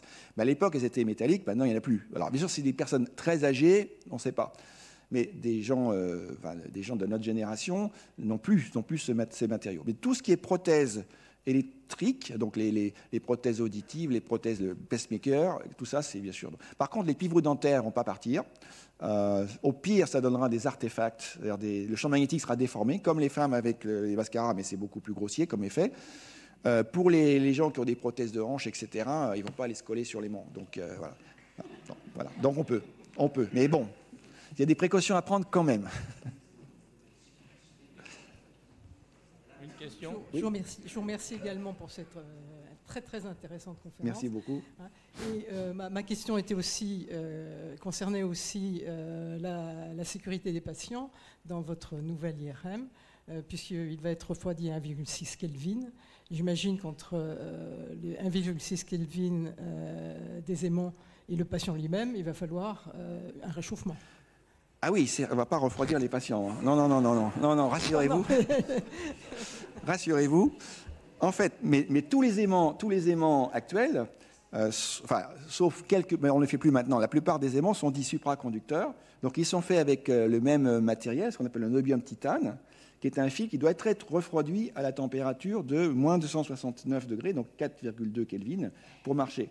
Donc en fait, c'est dans un cryostat Oh, bon, on ne va pas montrer la photo, mais euh, euh, il faudrait revenir en arrière. Donc j'ai peut-être un peu rapide. Autour de la bobine, donc, on a une, on sorte de, récipient qui va, contenir, l'hélium. Voilà, et qui est complètement euh, hermétique et qui n'est pas, perméable. Donc le patient, lui, sera à la température de la pièce rassurez-vous. et puis donc, le, risque, il faut, dire tout, il hein, ne faut rien cacher. Donc, le risque, c'est le quench. Le quench, c'est quoi? C'est qu'à un moment donné, le, le fil n'est plus supraconducteur. Donc vous avez 1400 ampères qui vont circuler, et là, et là l'aimant, il est, plus supraconducteur. Donc, localement. Donc, localement, ça va chauffer énormément, et l'hélium ne va plus être liquide. Il, va devenir gazeux. Et, qu'est-ce qu'il va faire? Donc, l'aimant ne va pas exploser. L'aimant, il sort par un, ça, peut arriver, hein, par un endroit bien précis, et, donc ça va dans l'air. C'est pas toxique, l'hélium. C'est toxique, par contre, s'il reste dans la pièce, parce qu'il chasse l'oxygène. Voilà. Donc, c'est 5 quench. Donc c'est pour ça que cet aimant il est à 1,8 Kelvin, c'est pour réduire les, risques de quench. C'est-à-dire que s'il y avait quelque part, par un, effet quantique, normalement on est en dessous des seuils, mais que localement le, fil devenait plus supraconducteur, donc ça chauffe, mais instantanément, à la vitesse de la lumière, la chaleur est évacuée. Voilà, c'est ça l'idée. vous avez parlé tout à l'heure de l'expérience qui a été faite sur le pianiste. Oui.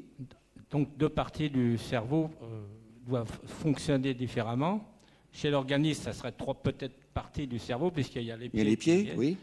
Euh, de cette expérience sur le pianiste, ne pensez-vous pas que ça favoriserait justement euh, un enfant qui, apprendra le piano pour des études intellectuelles général ah, euh, Bon, il y a beaucoup de. Ça, ça se discute. Il y a beaucoup de gens qui, peuvent penser ça, effectivement. Il y a même des gens qui ont montré des associations statistiques entre le fait de faire des mathématiques et faire de la, de musique, etc. Mais c'est toujours c'est plasticité cérébrale. Bon, on m'en allait parler un petit peu de, soi. Donc, voilà, je suis ambidextre. Euh, donc, je suis ambidextre, sans doute parce que j'étais gaucher contrarié. Donc, euh, voilà. Donc, résultat, bah, ça aide à jouer du piano. Euh, et, je me suis testé en langage et du langage des deux côtés. Voilà, donc euh, à peu près à 50%. Voilà, donc je pense que d'apprendre un instrument fait que euh, on, change, on change effectivement le câblage cérébral et donc on peut imaginer que ça change des, traits de personnalité. Mais l'autre côté, on peut aussi dire c'est parce que certaines personnes ont des traits de personnalité qui vont être musiciens. Mais bon, je fais parfois une conférence sur le cerveau du musicien, et de quoi en parler euh, largement pendant une heure. Hein, euh, sur, il y a des tas de choses spécifiques qui existent. Vous savez qu'un pianiste, par exemple, quand il voit une partition, ou un autre musicien, hein, il entend la musique dans sa tête, rien qu'à voir la partition. Mais ce qui est extrêmement intéressant, c'est vous montrer un, à un pianiste professionnel et à, quelqu'un qui n'est pas pianiste une vidéo de quelqu'un qui joue son clavier. On n'entend rien, hein, il joue simplement. Le pianiste professionnel va, savoir si ce qu'il jouait est quelque chose de réel ou si c'est complètement au hasard. Et, même en général, il arrive à reconstituer la pièce qui est en train d'être interprétée. même l'amateur euh, pianiste a beaucoup de mal à arriver à, faire ça. Il y, a, un travail considérable de mémoire, je vois, pour les. Oui, oui, oui bien sûr. Mais c'est voilà, donc le, il y a des régions cérébrales qui vont se mettre à être utilisées. Alors, je dis pas que l'exemple que le contre-exemple que je donne, c'est vous donnez un, un petit euh, un an ou deux ou trois un, téléphone portable, en, quelques minutes, il va en faire quelque chose. Pourtant, il n'y a pas de gène encore du téléphone portable et il n'y a pas de région cérébrale du téléphone portable. Donc, ça va bien dans le sens qu'il y a des réseaux de régions qui se mettent ensemble, donc des régions sans doute programmés, câblés d'origine génétique, hardware, comme je dis, qui vont se mettre à être connectés pour faire une fonction euh, plus évoluée. Donc le, la, personne qui joue de l'instrument, c'est exactement la même chose. Donc c'est des circuits qui existent déjà, mais qui vont être euh, développés, utilisés beaucoup plus que chez d'autres pour pouvoir être performants dans, le, dans, la, dans la pratique de l'instrument. D'accord, merci. Oui, oui, oui. Oui, euh, poursuivre un petit peu cette, euh, cette question-là. Si on acquiert, euh, je dirais, des fonctions supérieures, comme par exemple apprendre euh, une langue étrangère, est-ce qu'on a fait des études séquentielles pour voir à quelle rapidité il y a de nouvelles connexions qui s'établissent? Est-ce qu'on a, de cette façon-là, dans le temps, est-ce que ces modifications physiques arrivent rapidement ou bien Il y a deux réponses à donner, c'est un, peu compliqué. Il y, a, des travaux qui ont été faits pour montrer que ces connexions, elles se, changent dans les minutes. Hein. C'est-à-dire donc, euh, si, vous, euh, si vous, demandez à des jeunes euh, d'apprendre tous les jours à jongler, tous les jours 10 minutes, ou je ne sais plus, j'ai plus de 30 minutes, j'en sais rien, et que vous les, vous les regardez au, cours du temps, vous voyez que le, cerveau va changer à cette vitesse-là. C'est incroyable. Et des, expériences que je n'aime pas beaucoup, mais qui ont été faites aussi aux États-Unis, où on a, si, si vous si vous supprimez un doigt d'un singe, eh bien le cerveau, très très rapidement, euh, se reprogramme. Vous avez sans doute fait l'expérience, des fois, de dormir dans une mauvaise position, et vous vous réveillez, euh, vous n'avez plus de bras, quoi, vous ne le sentez plus, vous n'avez plus le bouger. Mais c'est un peu la même chose qui se passe. Donc toutes les fibres nerveuses, euh, bah, elles, ont souffert parce qu'elles ne sont plus irriguées. Le cerveau s'est dit, oh bah, il n'a plus de bras, voilà, enfin j'exagère, mais bon. Et, donc va, va commencer, commencer à se reprogrammer. Et puis, petit à petit, j'ai fait une expérience. On m'a dit de parler de moi, donc je le fais, j'ai horreur de ça. Mais là, j'avais une voiture, une voiture qui avait un problème, en panne. Donc, euh, une voiture à transmission manuelle. On m'a prêté le garage, m'a gentiment prêté une super voiture. Dans toute la journée, j'étais l'autre voiture et l'embrayage était extrêmement euh, facile. Quand j'ai repris ma voiture, j'arrivais pas à débrayer. Hein. Donc, euh, c'est revenu, hein, mais je vous rassure. Mais vous voyez, donc plasticité cérébrale, ça va très très vite. Donc quand je vous ai dit que j'avais changé votre cerveau, ce n'était pas une plaisanterie. Je suis désolé. S'il vous plaît, s'il vous plaît. Bravo Denis pour cette magnifique conférence. Je voulais savoir si euh, on peut conforter euh, par IRM le concept de neurone miroir. Ah, ah oui, oui, ça a été fait, ça, oui, oui, oui, bien sûr. Un neurone miroir, moi je ne peux pas parler de tout, hein. mais ça c'est un concept extrêmement intéressant et Si, si, ça a été fait, oui. oui, je ne peux pas, tout montrer. Hein. Euh, il y avait une question par là, j'ai entendu. Oui ah, merci. Euh, je sais qu'au Neurospin, il est possible de participer à des, hum, des protocoles de recherche euh, qui, sont, qui sont longs. Ce sont des protocoles de recherche de 10 ans, parce que j'en ai, fait la demande euh, personnellement il y, a, deux ans, alors que déjà vous deviez installer le, le 11,5 Tesla. J'aurais souhaité savoir si, lors de l'installation du 11,5 Tesla, il sera possible de participer à des protocoles de recherche courts. Alors, oui, tout à fait. J'ai quelqu'un dans, la, salle qui, s'occupe justement de, ces, recrutements. Oui, tout à fait. Alors déjà, euh, avant qu'on recrute des volontaires pour le 11,7 euh, Tesla, ça va prendre du temps, parce que l'aimant n'est pas encore là. Il va falloir un an pour arriver à le monter progressivement, pour être sûr que notre aimant il tient, qu'on contrôle tout. Il y a 1500 capteurs à l'intérieur, c'est vraiment un chef-d'œuvre. Un an pour arriver à 11,5 Tesla. Ensuite, on va faire des tests sur des, des objets, etc. Il va falloir l'autorisation de la NSM pour, avoir le droit de passer des volontaires. Donc j'estime qu'on ne passera personne avant 3-4 ans. Hein. donc voilà. Mais euh, la plupart de nos protocoles, les gens viennent une fois et la, durée, ça dure 20 minutes, 30 minutes, euh, au maximum une heure. Donc la, plupart de nos, des projets que l'on a à Neurospin, c'est tout. Vous venez pas pendant 10 ans dans l'aimant. Voilà. Mais il y a une étude qui, dans le cadre de ce qu'on appelle le Human euh, Brain Project, qui, euh, où on s'intéresse, et c'est vraiment très intéressant, donc on s'intéresse à la manière dont on pourrait étudier le cerveau sous tous les angles possibles, donc euh, plein, de, tests cognitifs ou, ou sensorio, pour étudier le fonctionnement du cerveau, et aussi voir comment tout ça va, va évaluer et va évoluer dans le temps. Voilà, donc on s'intéresse à ça. L'autre étude qu'on a aussi à long terme, donc vous voyez, ça c'est spécial, c'est une étude bien particulière, mais la plupart du temps, c'est court. L'autre étude longitudinale, c'est ce qu'on appelle le projet senior, c'est pour, la maladie d'Alzheimer.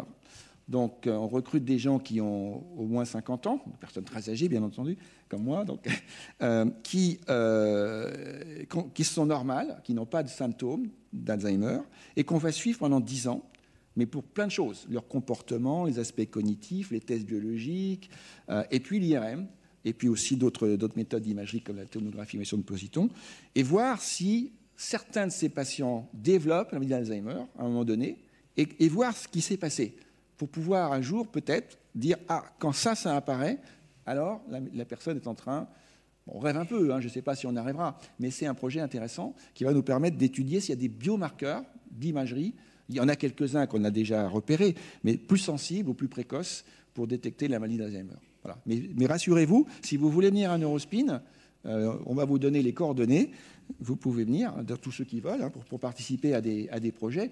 Vous restez euh, euh, au maximum une heure dans les monts. Alors bien sûr, on va vous poser des questions avant, euh, vous êtes mobilisé pendant un peu plus, mais pas dix ans. Ce n'est pas nécessaire. Voilà. J'espère que je vous ai rassuré. Monsieur, merci. Vous avez évoqué tout à l'heure la substance grise, la substance blanche. Qu'en est-il de la névroglie Et y a-t-il un moyen par la tomographie à émission de positons ou la vôtre, euh, de voir quelque chose dans cette substance dont on a euh, longtemps dit que c'était uniquement un tissu de soutien de, la grise et de la. C'est une très très bonne question. J'ai volontairement été très prudent quand j'ai parlé des, cellules qui constituaient le, cortex cérébral. Les cellules gliales, elles sont plus nombreuses que les neurones. Euh, effectivement, euh, quand j'étais euh, à l'école en médecine, on apprenait que c'était des cellules de soutien. On sait aujourd'hui que c'est beaucoup plus compliqué que ça. juste un petit exemple. quand je vous ai parlé de l'imagerie fonctionnelle, on, voit qu'il y a une augmentation de débit sanguin à travers donc, nos images d'IRM. Mais quel est le couplage entre l'activation des neurones et le débit sanguin? Eh bien, ce sont les, astrocytes, ces cellules, une famille de ces cellules-là, qui sont responsables apparemment, donc ce n'est pas, non plus complètement établi, mais c'est elles qui font que quand le neurone a besoin d'énergie, vont faire que le débit sanguin va augmenter localement. Elles ont un rôle en tout cas très important dans, ça. Mais elles ont aussi d'autres rôles qu'on commence seulement à, découvrir, des rôles justement dans la plasticité cérébrale, elles ont un rôle... Voilà. Donc certains disent même qu'elles ont des rôles dans le, transfert d'informations. Donc euh, il ne faut surtout pas les négliger, il faut les étudier. Malheureusement, à la, résolution des images que l'on a, comme je l'ai dit du millimètre, on, voit, on voit des cellules, on voit qu'il y a des cellules, mais on ne sait pas lesquelles. Alors, on a aussi, je ne vous l'ai pas dit, je cache tout, un aimant de 17 Tesla, donc 340 000 fois le champ terrestre, mais lui, c'est pour le petit animal, souris et, rat. Donc là, on est capable de faire des images de neurones uniques. Donc on voit un neurone, on peut en voir plusieurs, on peut en voir 20, mais on les voit chacun. Et on voit comment ils sont connectés. Et donc on fait ça en particulier sur un animal qui s'appelle l'aplésie, qui est très connu parce que c'est avec ce modèle que sur Yvette Kendall a découvert Agif sur Yvette et après il a fait tout son travail sur la mémoire. Euh, donc on peut, on peut regarder les neurones un par un, voir comment ils sont. On les voit qui gonflent par exemple quand ils s'activent, donc c'est la méthode de diffusion que, que j'utilise aujourd'hui. Et on, voit comment les connexions se font. On voit que cet animal-là, par exemple, il a des addictions euh, alimentaires. Donc on peut, on peut voir euh, qu'il y a des neurones spécifiques qui sont tous connus, hein, donc, qui sont responsables de l'addiction. Il faut voir tout ça. Et alors lui, donc dans le modèle de l'aplésie, justement, c'est qu'il n'y a, a, pas toute la complexité, les vaisseaux sanguins, la glie, etc. Donc on peut faire la part des choses. Voilà. Ce qu'il faut comprendre en général, c'est quand même c'est tout ce qui est très rapide, c'est quand même neuronal. tout ce qui est glial euh, prend, prend, plus de temps. Et puis, une dernière chose peut-être à dire, c'est que la, myéline, euh, donc cette enveloppe graisseuse qui, enveloppe les axones, elle est produite aussi par des, cellules euh, gliales. Bonjour, j'aurais deux questions, mais ça fera peut-être une seule réponse.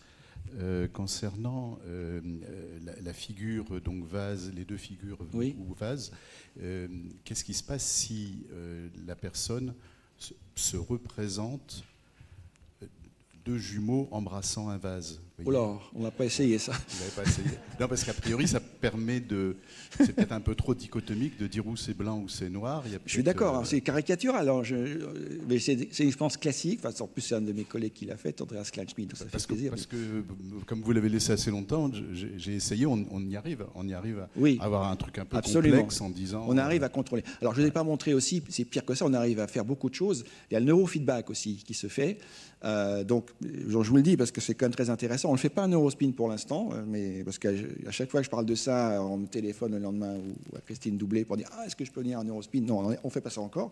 Mais voilà, donc c'est des gens qui ont des, douleurs chroniques euh, très intenses, résistantes à tous les traitements, etc. Donc on les met dans, la machine, enfin pas nous, hein, les collègues qui ont publié ça, et puis on leur montre une image d'une flamme de bougie. Voilà, simplement la hauteur de la flamme, elle est calculée par un ordinateur en fonction de l'intensité de, l'état cérébral dans des régions de réseau qui sont liées à la douleur. Voilà. Mais la personne ne le sait pas. Donc on lui dit, vous pensez à ce que vous voulez, de la musique, des couleurs, etc. Mais votre, euh, votre tâche, c'est de faire diminuer l'amplitude de la flamme. Et au bout d'un quart d'heure, 20 minutes, d'après les travaux qui ont été publiés, hein, c'est moi qui fait pas fait ça, euh, c'est pas moi qui ai fait ça, pardon, la personne arrive en général à faire diminuer, et en même temps, la douleur disparaît. Euh, parce qu'en fait, euh, si, l'amplitude a, diminué, c'est parce que les régions de la douleur sont, moins activées. Voilà. Et d'après ces travaux, six mois après, les gens ont, perdu leur douleur. Enfin, en tout cas, une grande partie de leur douleur par ce procédé. Ça a été publié aussi dans le cas de dépression chronique, où les gens sortent de l'IRM, euh, j'exagère un peu, mais plus heureux. C'est un effet secondaire de l'IRM, peut-être, par, par, la technique de neurofeedback. Voilà. Donc, je, n'ai pas d'expérience personnelle, c'est des, des, choses que j'ai lues, mais qui ont l'air extrêmement sérieuses quand même. Donc, on peut modifier son cerveau. Donc, que, vous ayez, par apprentissage rapide, euh, modifier votre façon pour, contrôler l'état de. C'est possible, hein, tout à fait possible. Moi-même, j'y arrive, mais au bout d'un certain temps, j'arrive. Par contre, les points noirs, vous n'y arriverez pas à les supprimer, hein, ça, je vous garantis. Et, alors, euh, on a, sans doute bien fait de vous contrarier pour vous soyez ambidextre. Je sais pas. Mais euh, parce que vous venez de répondre peut-être à la deuxième question que je n'avais pas encore posée, euh, qui concernait, donc dans la reconnaissance de forme ou autre, est-ce que vous avez pu travailler sur comment dire, l'émotion ou l'impression d'un objet, par exemple un objet repoussant ou un objet. Ah oui, oui, il y a des tas de papiers là-dessus, oui, bien sûr, oui, sur le, bah, les phobies, les obsessions et tout ça. Oui, oui, il, y a, il y a plein d'articles dans la littérature sur, mais bon, je ne vais pas tout montrer. Hein, j'ai donné exprès quelques, quelques éclairages. En plus, je déforme un peu pour, pour que ce soit simplifié et, compréhensible. Mais il y a toute une littérature, il y a des milliers d'articles euh, qui utilisent cette méthode. Donc, euh, donc dans mon livre, je donne plus d'exemples, hein, euh, mais c'est pareil, ça ne couvre pas tout, c'est pas possible. Le champ est énorme, vraiment. L'imagerie neurofonctionnelle, vous pouvez faire ça à n'importe qui, sans n'injecter rien, il n'y a pas de radioactivité, donc c'est sans limite. Oh bon, oui. Oui. Merci beaucoup pour votre exposé. Ça fait cinq ou six fois que je vous entends. À chaque fois, c'est tout ah aussi, toujours aussi passionnant. donc, je ne dois pas être très clair, hein, parce que si on revenait à chaque fois. J'ai lu votre livre, je l'ai dévoré, je l'ai appris par cœur. Bon. Alors, j'en viens à ma question.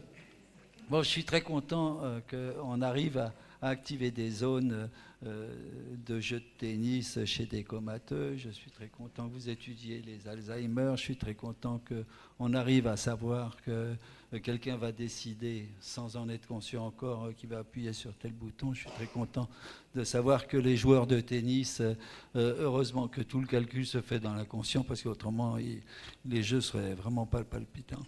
Ma question, vous l'aviez déjà soulevé dans d'autres euh, euh, conférences, c'est celui du libre arbitre. Ah. Mais le vrai, le gros, le, le, hein.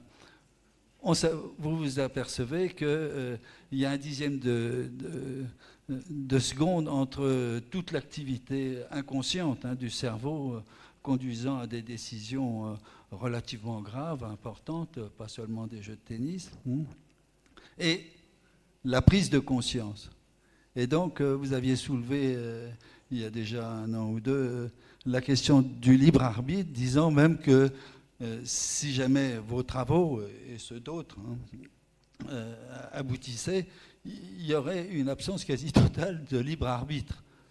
Bien qu'il y ait un retour de la conscience vers les zones inconscientes pour apprendre. Oui, alors bon, c'est un sujet qui est quasi philosophique. Hein, est-ce que vous avancez là-dessus? D'abord, c'est pas mon sujet personnel d'étude. Ah, hein, voilà. Oui. Euh, mais, enfin, est-ce que vous avancez? Bah, je, vous ai montré ce que dans la littérature, mais euh, voilà, la question, c'est jusqu'où faut-il aller Voilà. Dans, euh, et, effectivement, c'est une bonne question.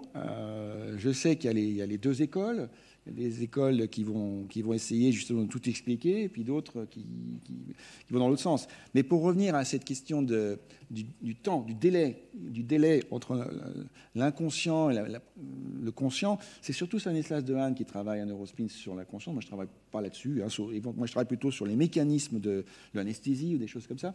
Mais euh, l'exemple qu'il avait montré il y a quelques années, qui est, très intéressant, et je le montre parfois, mais je ne peux pas tout montrer, c'est euh, on, fait écouter des, euh, on, on, montre, on montre des, mots sur un, écran, voilà, rapidement. Donc, vous voyez lion, panthère, etc. Donc, voilà.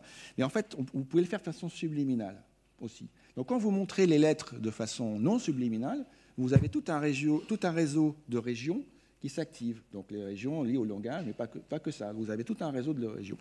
Par contre, si vous, si vous rendez ces stimuli subliminaux, alors c'est facile à faire, vous flashez donc un mot, lion, même si c'est très court, votre conscience le reconnaît. Mais si juste avant et juste après, vous mettez des caractères aléatoires, vous, êtes incapable de voir qu'il y a un mot qui s'est projeté.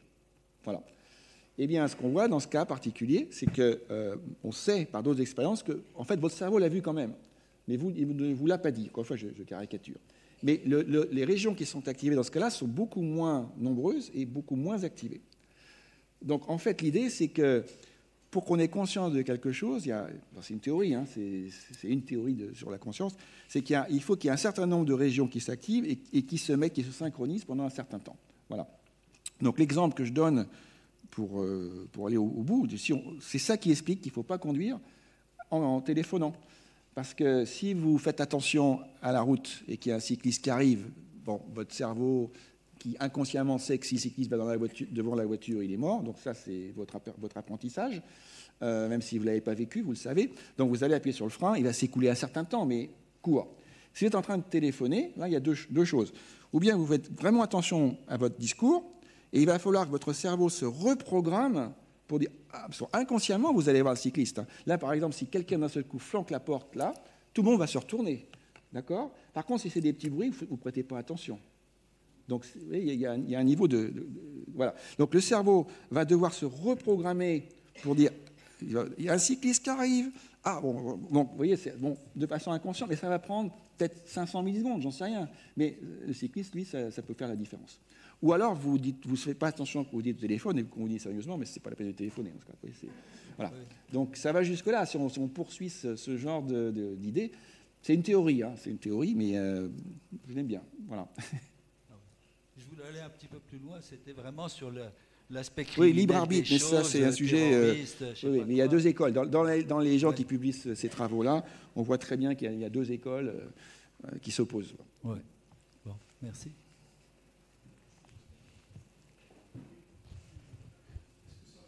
Oui, oui, je vous entends, oui. Ah non, ça ne marche plus là par contre. Oui. Vous venez d'introduire le terme de reprogrammation. Oui. Et il y a bien des années, euh, bon, j'étais dans le laboratoire de Michel Jouvet à Lyon, euh, il avait introduit, enfin il n'était pas le premier, mais il avait introduit cette, ce terme pour, euh, comment dire, spéculer sur les fonctions du sommeil paradoxal. Ah oui, oui, oui. Oh, je connais bien, enfin Michel Jouet le connaissait bien à l'époque aussi. beaucoup de choses en IRM ont été faites sur le sommeil. Bah, pas tellement, non, justement. Ah bon, pas assez.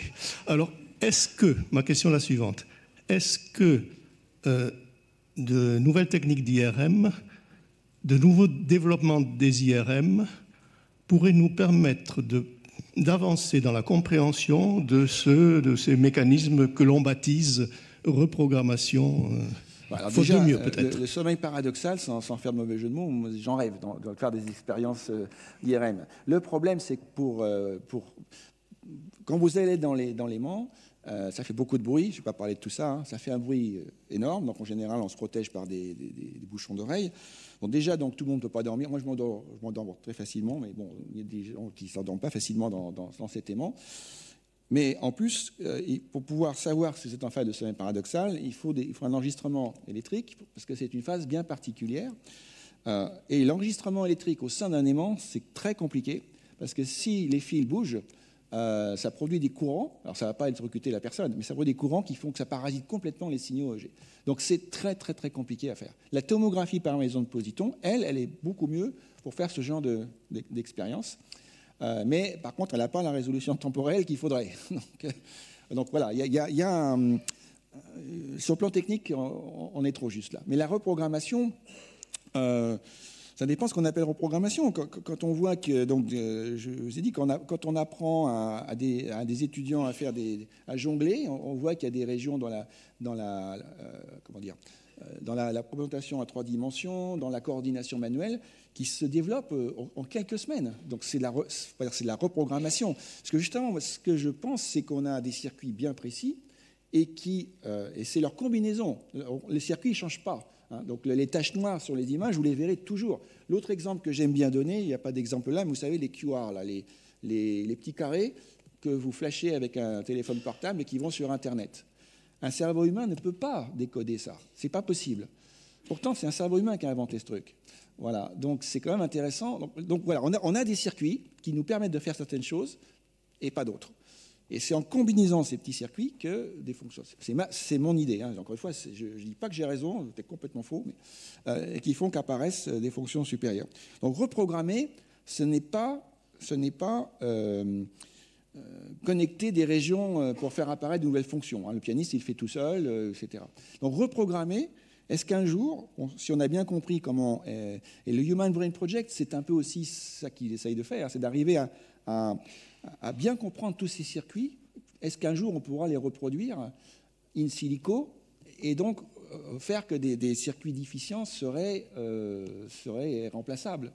Bon, c'est un peu de la science-fiction, mais c'est un peu l'idée du Human Brain Project, sauf que ça ne sera pas sur 10 ans, faut qu'on arrive au bout. Mais, mais voilà, donc euh, ça fait rêver. Je ne sais pas si on arrivera. Ça aussi, il y a une question philosophique derrière. Est-ce qu'on a intérêt à faire ça? Je ne sais pas.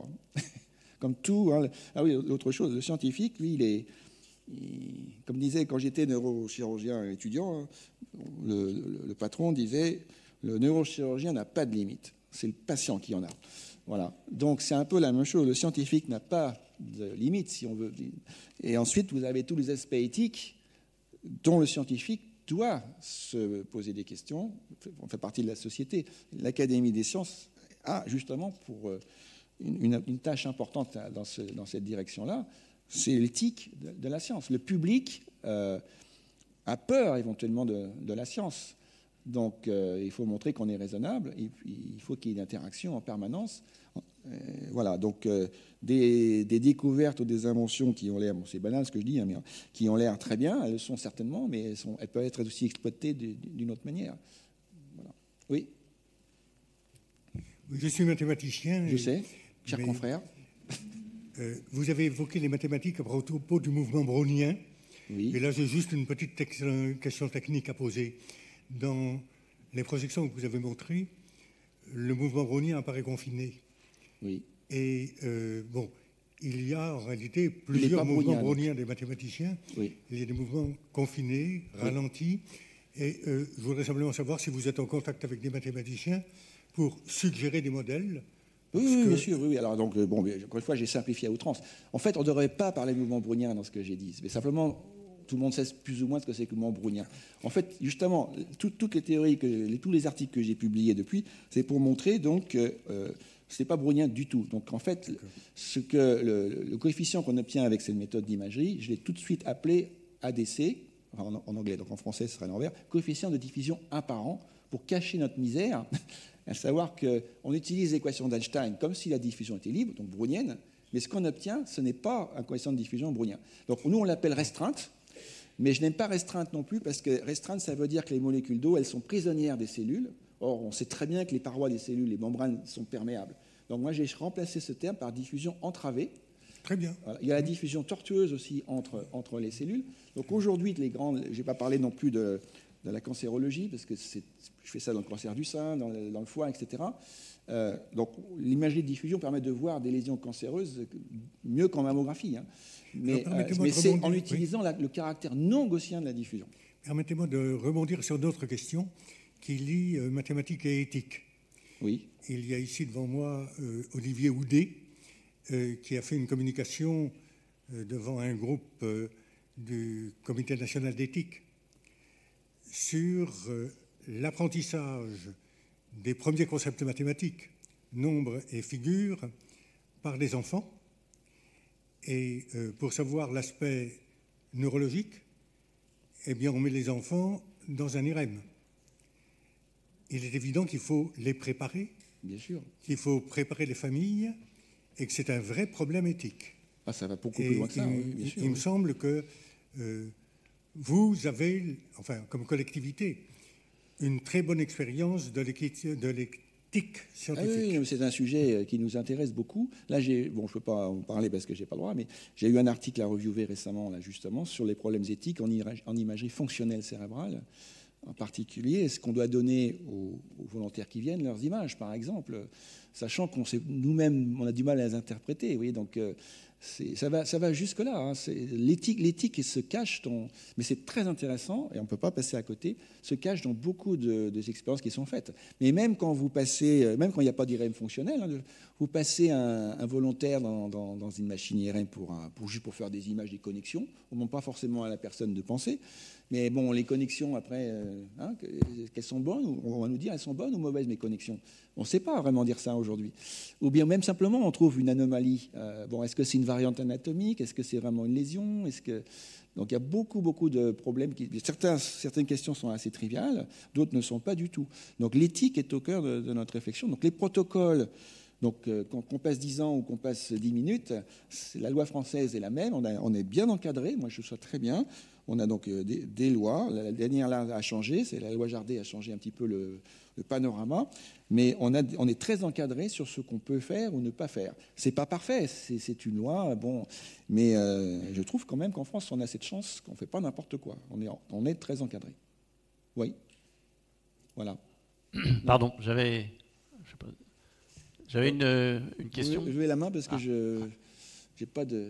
Pardon, ici. Ah, pardon. Oui. Oui, j'avais une question par rapport à ce que vous évoquiez sur la plasticité neuronale et l'influence de l'environnement euh, au niveau du cerveau. Je voulais savoir si, par exemple, euh, il est euh, possible d'imaginer que l'on est tous avec le même capital et que ensuite, au cours de la vie et de l'environnement de notre vie, on, on a ce capital qui va se développer plus ou moins. Ou est-ce que l'on peut aussi imaginer qu'on peut naître avec une malformation au niveau du, cerveau, comme on pourrait avoir une malformation physique? Et, de là, euh, l'exemple par exemple de la schizophrénie, est-ce que, parce qu'il y, a un certain nombre de, pas de, d'écoles de, psychothérapie, etc., qui considèrent que tout vient de l'environnement, tout vient des, des, parents, etc. Et donc on a l'impression que tout le monde est né de la même manière, avec le même capital, et puis qu'ensuite, les choses divergent ou non. Est-ce que la schizophrénie, par exemple, est quelque chose qui viendrait à l'origine d'une anomalie au niveau du cerveau à la naissance, ou est-ce que c'est quelque chose qui pourrait s'acquérir alors, c'est compliqué et c'est à la fois oui et non. Euh, bon, effectivement, il y, a des pathologies. Si vous avez un accouchement qui se passe mal et puis que la personne, le bébé a une anoxie cérébrale, c'est clair qu'il va avoir des problèmes après, c'est sûr. Voilà. Mais, mais ça, c'est quand même heureusement exceptionnel. Par contre, ce que l'on sait aujourd'hui, c'est beaucoup d'affections psychiatriques, y compris schizophrénie, sans doute ont une origine très bien avant la naissance. Euh, bah, ça ne veut pas dire que c'est dans les gènes non plus. Donc, euh, une étude qui a été faite par nos collègues aussi, c'est une étude statistique sur une grande euh, population. Ils se sont aperçus que les adolescents qui fumaient à l'adolescence, donc, avaient plus de chances de fumer si leur mère avait fumé pendant qu'ils étaient encore fœtus. Voyez? Donc, euh, donc, il ne faut pas fumer, mesdames, si vous êtes enceintes, parce que c'est statistique. Il hein. faut faire attention qu'il y a beaucoup d'études que j'appelle le big data, donc il faut, c'est très bien, mais tant que ça reste statistique et ça n'explique pas, euh, ça, a aussi ses limites. Voilà. Mais on sait aujourd'hui que euh, on n'est pas tous identiques sur le plan génétique. Je vous ai montré, mais très rapidement, des images qui montraient selon les gènes que l'on a, certaines régions sont plus développées, n'ont pas exactement la même forme, etc. On ne peut pas dire à partir des gènes, oh celui-là, ça sera un bon pianiste. Hein. On ne sait pas. Celui-là, ça sera un Mozart. On ne peut pas. Mais on a certainement des. A, ce que je dis, c'est banal, hein, je, n'ai aucune preuve dans un sens ou dans l'autre. Donc, les gènes font qu'on on est tous un peu différents. Et puis, l'environnement a un rôle considérable. considérable. C'est-à-dire que si vous, vous mettez quelqu'un complètement euh, isolé ou quelqu'un qui a un contact social, ce, sera, seront deux personnes complètement différentes, c'est évident. Ah L'homme est fait pour être social, hein, c'est pour se, pour se connecter, comme les neurones. Alors, les neurones, il y a des, il y a des films très intéressants. Les neurones euh, donc, cherchent à se connecter aussi. Hein. Et puis des neurones qui ne se connectent pas meurent. Et là, vous avez les, les, cellules euh, microcytaires qui sont autour, qui viennent les digérer, les, éboueurs du cerveau. Voilà, on voit ça. Hein. C'est dur hein, là-dedans. oui oui, euh, merci pour l'exposé. Euh, vous avez dit tout à l'heure que vous avez travaillé sur l'anesthésie et le fonctionnement du cerveau, donc j'imagine en, parallèle. Euh, il y a une question que je m'étais posée et à laquelle je n'ai pas eu de réponse. Peut-être avez-vous cette réponse. une anesthésie, les centres de la douleur sont activés et c'est la mémorisation qui est désactivée ou ou c'est plus Alors en fait, autre chose que En fait, ce qui est intéressant, c'est qu'on ne sait pas vraiment comment marche l'anesthésie dans le détail. Euh, on a des idées, bien sûr, mais, mais, le mécanisme précis, donc il y a des régions du cerveau qui sont des switches qui font que vous êtes en état conscient ou pas conscient, c'est très très compliqué. Et selon les molécules que vous utilisez, les effets sont pas les mêmes. Mais bon, moi je suis pas pharmacologue, il y a des pharmacologues dans la salle, donc je vais faire attention à ce que je dis. Euh, mais nous, ce qu'on voit avec nos méthodes d'imagerie, chez l'animal, hein, parce qu'on passe chez l'homme, bien entendu, c'est que selon la molécule que vous utilisez, euh, les effets sont très différents. Voilà, donc, euh, euh, vous avez certaines régions communes, donc certainement les switches, et on est capable aujourd'hui, en les stimulant, donc c'est des animaux anesthésiés, en stimulant ces régions-là, même en injectant de l'eau, hein, ça va loin, de les réveiller. voilà, alors qu'ils sont sous anesthésie. mais bon, c'est des régions très très bien connues, enfin, voilà. mais les mécanismes, on ne les connaît pas aujourd'hui. Mais c'est bien sûr l'idée de travailler sur l'anesthésie, c'est que c'est un peu un modèle de la, du coma. Quoi. Bon, c'est pas la même chose, encore heureux. Mais vous voyez, il y a une passerelle entre les deux. C'est pour ça que c'est des sujets extrêmement intéressants. Et moi, je que le centre de la, douleur est activé? On doit, le, on doit le voir. Euh, ah non, non, mais les centres de la douleur ne sont pas, ne sont, ne sont pas forcément actifs. Ça dépend, hein, ça dépend. Il y, a, il y, a, le fait que les, les, centres de la douleur puissent être activés mhm. et le fait que vous ayez conscience de la douleur. Ce n'est pas du tout la même chose. Et là aussi, il y a des tas d'études qui ont été publiées qui montrent que la sensibilité personnelle à la douleur est, très variable. Les Asiatiques, j'ai vu au Japon, on leur voit des trucs atroces et ils n'ont rien, quoi. Ils sont. Voilà. Ben déjà, quand on leur fait des massages, des fois, vous dites. et, euh, et euh, voilà, donc. Euh, encore deux questions, deux dernières. Choisissez bien alors. Oui, merci, merci infiniment, comme tout le monde. vous êtes passionnant. Merci beaucoup. Et puis vous avez aussi beaucoup d'humour, donc c'est. Ça aide. c'est super, oui, ça aide.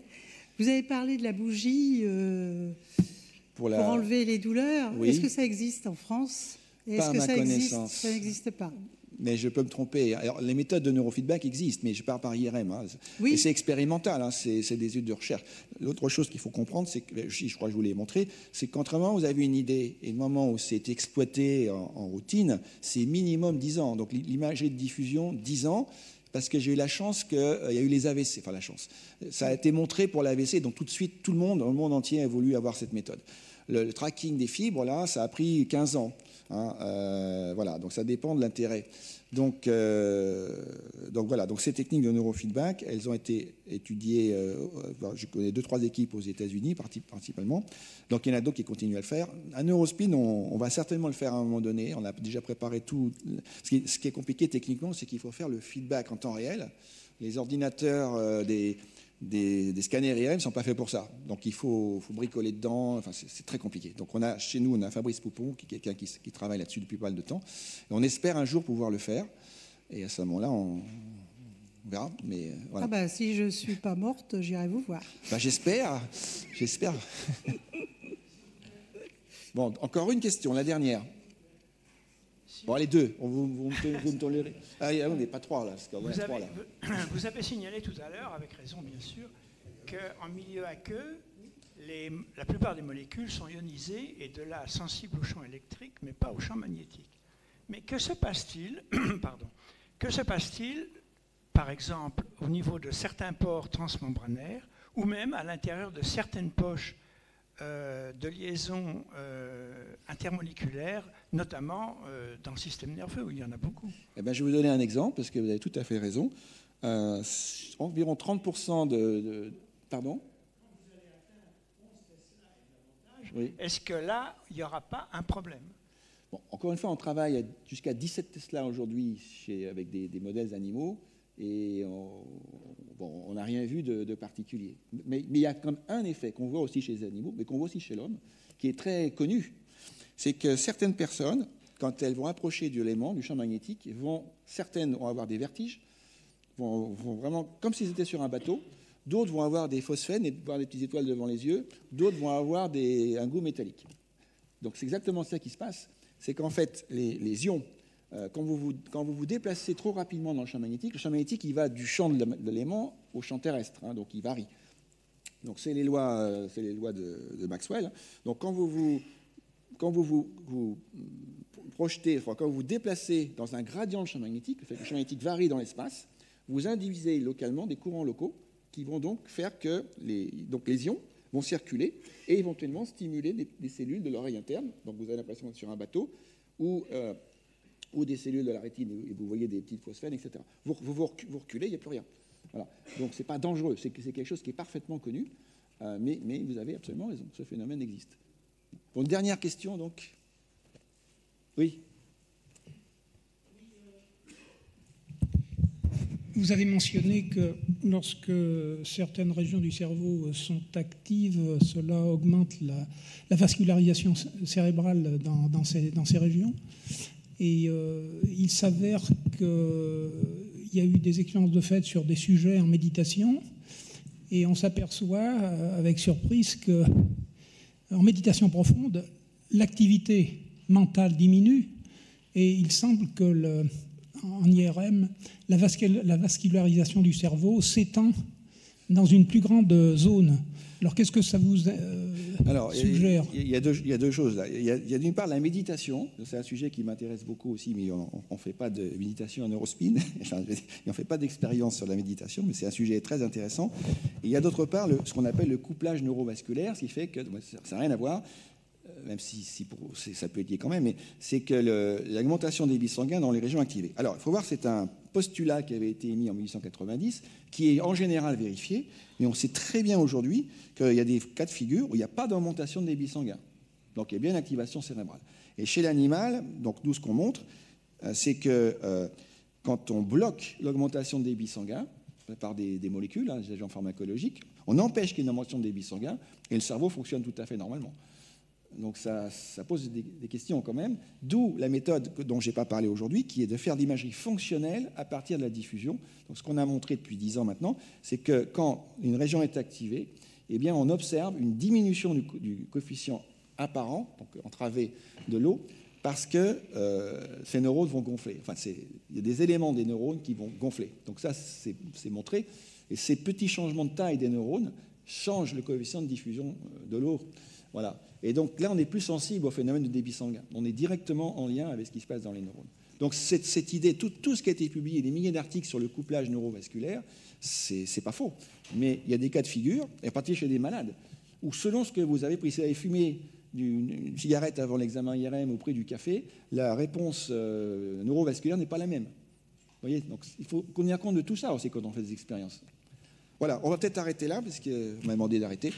Voilà. Merci.